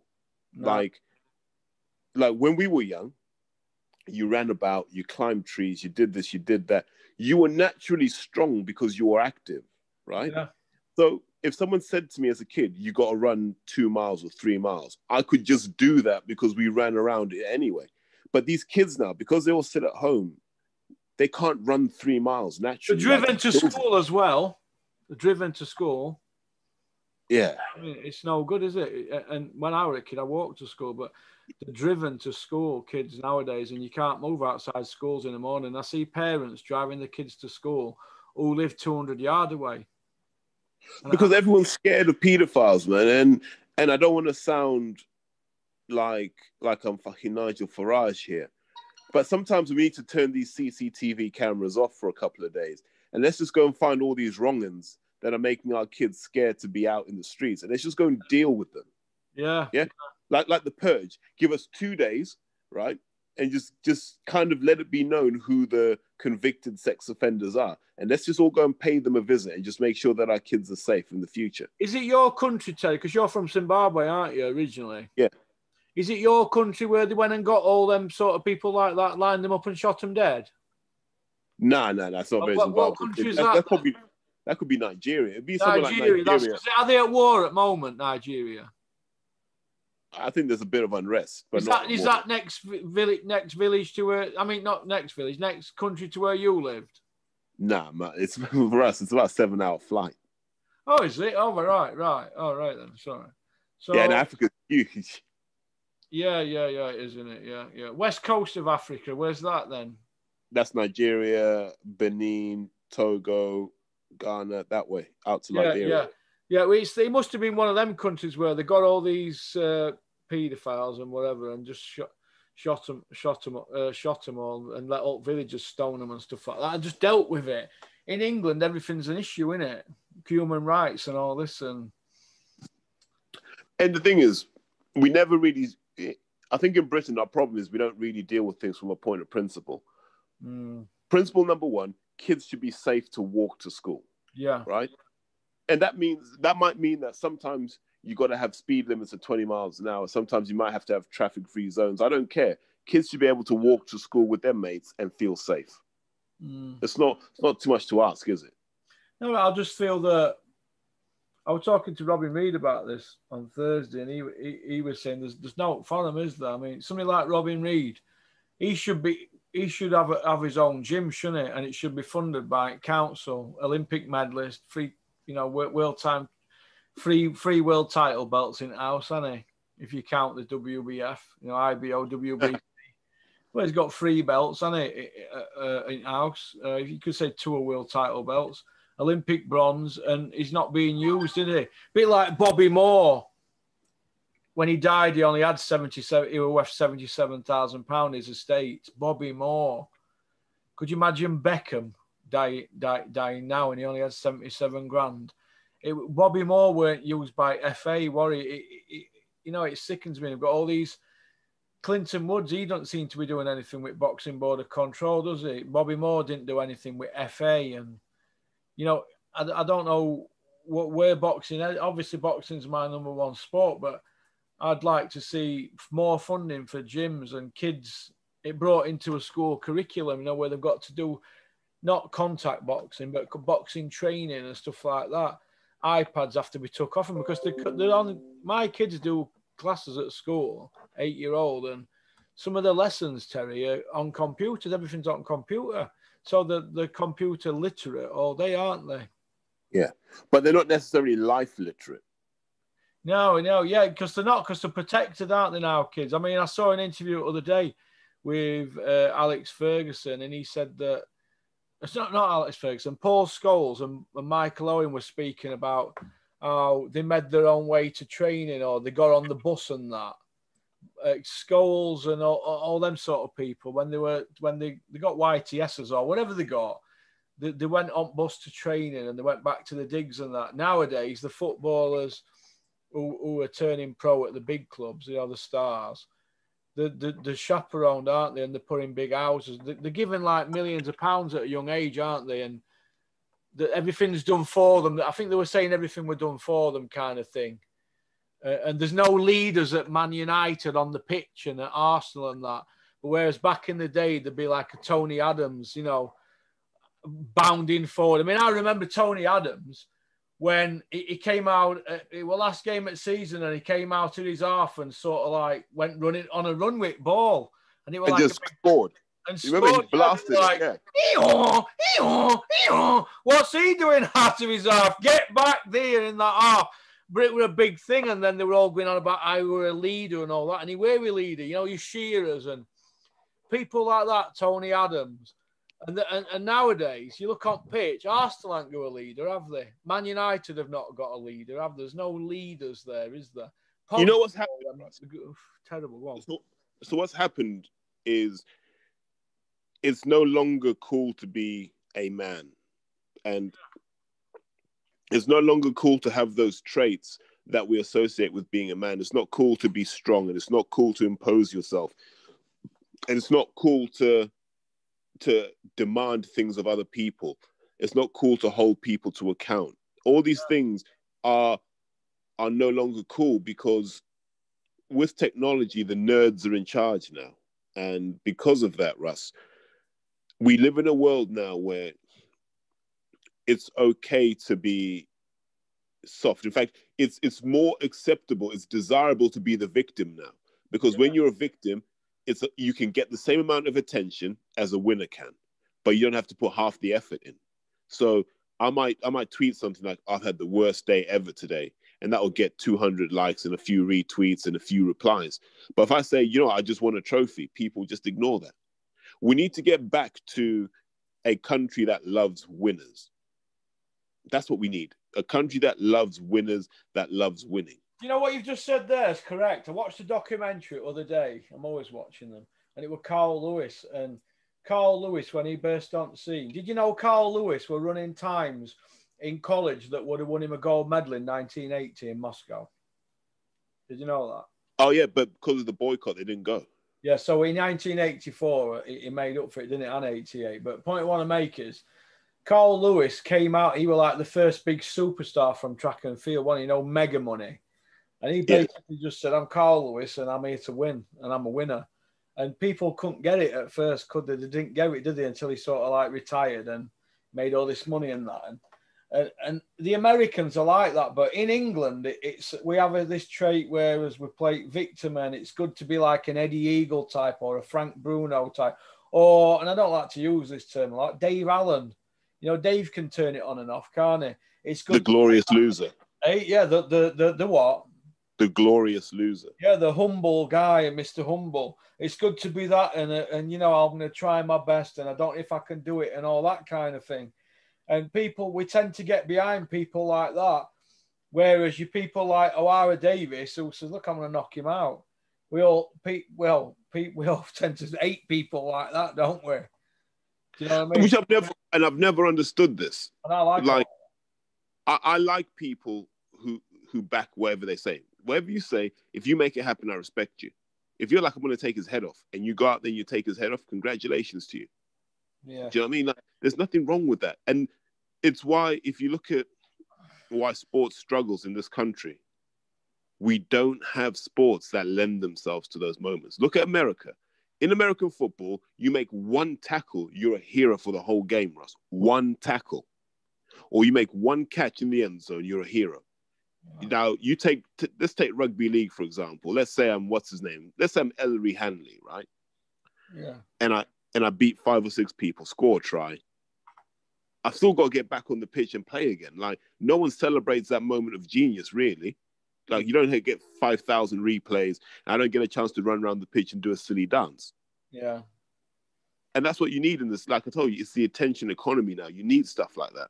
That's why American sport is booming over here while British sport is dying over here. Yeah. I don't like to bring this up because because people are oh he's on about Froch again, but somebody asked me the other day, oh why are you always uh, big in Carl Froch? What made you follow him? Well, I followed him obviously from when he turned pro, but I was at one of his earlier fights. He fought Damon Hague. Do you remember that fight? No. He fought Damon Hague for British title, and he was defending his Commonwealth, right? And Carl did an interview afterwards, and he was asked what something, and he said, "Listen," he, said something like, "You have to go on and watch the fight and watch the interview." And he said, "Look, if people want to come and fight the Cobra, bring it, but train hard." And, I, and it was just arrogance. And I remember him getting slaughtered in boxing magazines, and and in them days there were like forums and that they were hammering him on and. Uh, saying he were arrogant, and Adam Smith used to say he was surrounded by hype, but Carl, Carl and me call it swagger. He had that bit of swagger, that bit of edge, you know. And and and I noticed towards the end, he sort of were like he didn't have that swagger, you know, towards end that he had when he were coming through. After the Ward fight, I think the Ward fight knocked it out of him. Well, Ward just battered it out of him. Back to that, don't you? They both had lumps on them out here. You should have seen Ward's face after the fight, mate. Oh no, I spoke to Ward about it. He said it felt like a tough sparring session, but nothing more. Yeah, yeah, I bet you did. he did, and that's why he was always winning. He's like, "Listen, I'll fight Carl anytime, any place." And then Carl went missing. Well, why didn't you fight him in Nottingham when they were offered it? Well, why, why, why would you go from the west coast of the US to Nottingham when well, you're the guy that won? City ground, a city ground. No, well, it's a city ground, mate. Nottingham. Mate, mate, mate, it's Andre Ward, not fucking Brian Roy. Do you know what I mean? Andre Ward's never fought outside America. He doesn't need to. He needs to come to England to prove himself, Andre. you always have to throw that one at me, don't you? The Andre Ward one. You know I don't like Andre Ward. He annoys me. Uh, he's listen the way he handled Froch. I thought he was going to give him Kovalev super. smashed him to bits, mate. He got robbed. No, he didn't, man. What happened in that second Because you've fight? met Andre Ward, you you won't have anything said about him.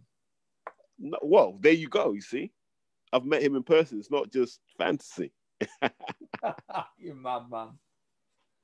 But So, no, no. Uh, back to the point, Russ. Yeah. We need to get to a point, and I know, like, it's kind of felt like we're, we're trying to put the world to rights. I'm not even trying to put the world to rights. fit, don't we, and get them out of Yeah. the house. You just want your kids to be capable of a looking after themselves and b being physically capable of functioning in adulthood. That's all. Yeah, that's it. Yeah, I give my kid two brand new footballs, both of them, right? And and now when I see them, I say, "Where's your balls?" They show me them. They're flat. I said, "Been playing with them." They're now. So they were six quid each. Them balls. You know what I mean? Good ones as well. Mitres. Mate, we used to we used to get plastic bags, stuff them, tie it all together with a bit of fucking what do you call it? Cut up tire. You know the, the rubber out the tire, Yeah, yeah. The inner tube. Tie that together. Play football from like like 10 a.m. on a Saturday to like six o'clock on a Saturday. Just playing Yeah, football. do all that, man. I listen, mate. Nothing happened where I grew up unless I were there. I was the al- al- always. I- was the one with the ball. Nobody could play till Big Porky turned up with his Casey. Do you know what I mean? Big P. Big P's here with his Casey, the one that gets. It's like a cannonball when it's raining. And there was this brat who used to come onto the field, and he had like proper thirty quid football and that, and Adidas ZX six hundred trainers. So is it Adidas ZX seven fifty now? They're still out now, aren't they? yeah. Well, in in eighty three, if you were cool, you had a, a pair of Patrick Stabils or Puma Hardcore, Puma Hard Play. But if you were a spoilt brat from Tickhill or Wadham or Warmsworth, you'd have ZX 750s. And this kid come up field, he's got these ZX 750s and shiny ball. And everybody were like, oh, easy, Porky, we're going over there, play with his ball. And I'm there carrying my ball. I was like, that. It was like a cannonball because it were raining, but them other ones used to skid off at uh, off at surface, didn't they? A good ball, whereas mine had just take out turf with it. and you, you wear broken foot. But and you'd never edit out at Sky because you'd be knocked out like that. I said, Dad, I want a new football. My dad would say, It's not the football, it's the player. oh man. Oh, yeah. The Perils are growing up in a mining village. Uh, And then and then you just became a pool shark. yeah, they were, I had a pool table at home dinner that were out in a pub, so there was no else to do. So I took pool up, but from from being a, a young age. But It just became the Mayweather of pool. The Mayweather pool, I wish my eyes have gone now. Hmm. But yeah, I've enjoyed it today. It's been emotional. We've had a good chat. Yeah. We've wrote, wrote a few wrongs, thrown a bit of comedy in, give a bit of an opinion. And because I swore a couple of times, and I'm not going to get me four quid now. I could I could get it took out, but it'll cost me 40 to get it edited out at the moment, the way things are going. I need to brush up on my computer skills, don't I, Terry? Save some pennies. Hey, I because I've always edited my own stuff. Yeah, save SYPS some pennies, eh? Do some editing myself. Do an editing course, eh? I need to just Hey, you know what, I, mate? I learned to do it all. I can do it all on my phone. I do everything on my phone. Yeah, you sent me them links, didn't you? They're all right, though. I was just a bit complicated for me because I'm a bit bit of an am and egger, aren't I? If I were a boxer, I'd be, I'd be like Spider Spider Rico, wouldn't I, at Rocky? That'd be me, wouldn't it? Do you know what I mean? I- I'd end up on Skid Row. But uh, but yeah, so all right then. Well, listen, you take care, Terry. Have a great Sunday. Thanks for coming on. you too, mate. No worries. Don't have And, nightmares, mate. uh, don't have nightmares, and uh, you keep on trucking, son. All right, mate. Take care. Bye. Bye. Uh, well, that were Terry from London, born in Zimbabwe. Uh, I hope you've enjoyed the uh, the. I'm not going to say show because that's a bit cringe, isn't it? I hope you've enjoyed the episode today. Uh, I think we've just spoke. Elo- Terry speaks eloquently, doesn't he? A bit like Rob Tebbutt. Whereas I'm, like I just said, I'm a bit of an am and egg, aren't I, with my accent. But I've enjoyed doing the episode today. and uh, hope you all liked it. I've got a. I'll just tell you what we've got booked in for next. There's a lot of there's no there's no slots available on Zoom now until until Friday uh, Saturday. There might be one on Friday night, but I think it's going to be Saturday now next and Sunday next week until the, there's any slots available. So if you want to come on Zoom, everybody's welcome. There's uh, we're going to try and do two a day maximum. That's too much. That's probably too much.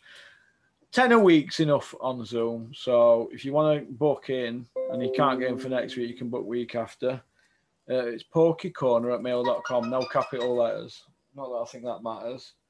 Uh, and get get your uh, get your email sent in, and somebody will be in touch with you. All right. Uh, that's about it, really. Covered a lot of stuff, haven't we? I think I've said what I wanted to say. I've saved a bit of stuff back for some videos I'm going to do this week. Uh, we wish Kell Brook all the best. My take on it, not Terry's take, my take is I think he probably will go off rails for a bit, but I hope he doesn't because he's likable, Kell. But I hope he, he knuckles down. I'm not really bothered who he trains with, it's Coldwell or Dominic Ingle or that Spanish dude. I'm not really bothered. I'd like to see him go back to John Fuchs and give John Fuchs a chance because he didn't get beat with John Fuchs. I'd like to see him work with Glyn Rhodes and John Fuchs, so he's got a bit of experience in corner and who's the young up, young emerging trainer. I'm not going to say inexperienced. I'd say young and emerging. So, and if they're going to get the Khan fight, get it on on BT Sport with Bricktop. So I think it's a good fight. So, but there's loads of fights that I'd like to see, but they're just not happening, are there? These fights, we're, we're told about when, when they dangle carrot and it just gets away from us. They just go off down another area, and it's starting to annoy me a bit at the moment. Boxing. Don't get a minute, do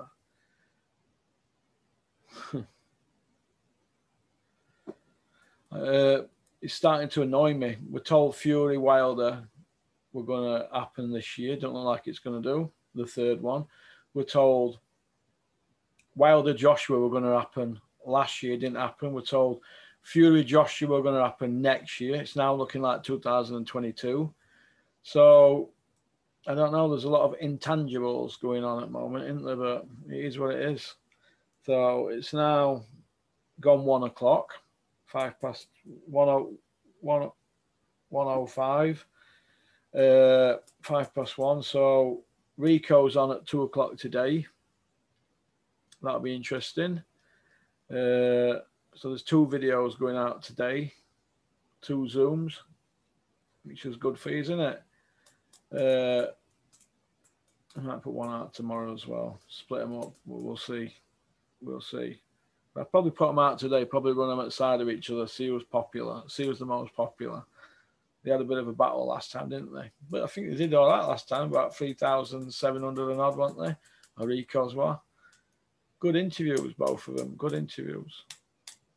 So I hope you've enjoyed it. All right. Shout out to Matt Skelton in Essex. How are you doing? Frank Smith in Berry.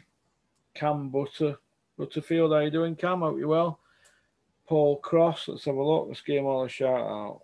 Let's give a few a shout out. Ooh, uh, Mark Siddall. How are you doing, Mark? Steve Oil Guy in Wales. How are you doing, Steve? Don't crash that Porsche.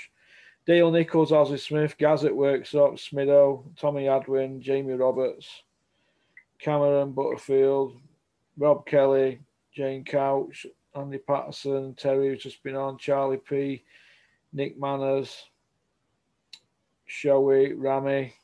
How you doing, Rami lad? Sheffield, hope you well. John Bennett, AJ, Frank Smith, Steve Goodwin, Peter Fury. Fano, hope you're all well. Matt Skelton can go on forever. Thanks for tuning in. Thanks for watching. Like, share, and subscribe. Get it to your pals. If you don't want to do that, don't. All right. I'm not forcing anybody to do it. But big shout out to Mickey Theo and John Fury. I've heard that fight could be happening next year now, but we're going to see if it's all hot air. So I hope it does happen. I'll be there ringside. Can't wait. Big shout out to John Fury as well. John, don't have nightmares.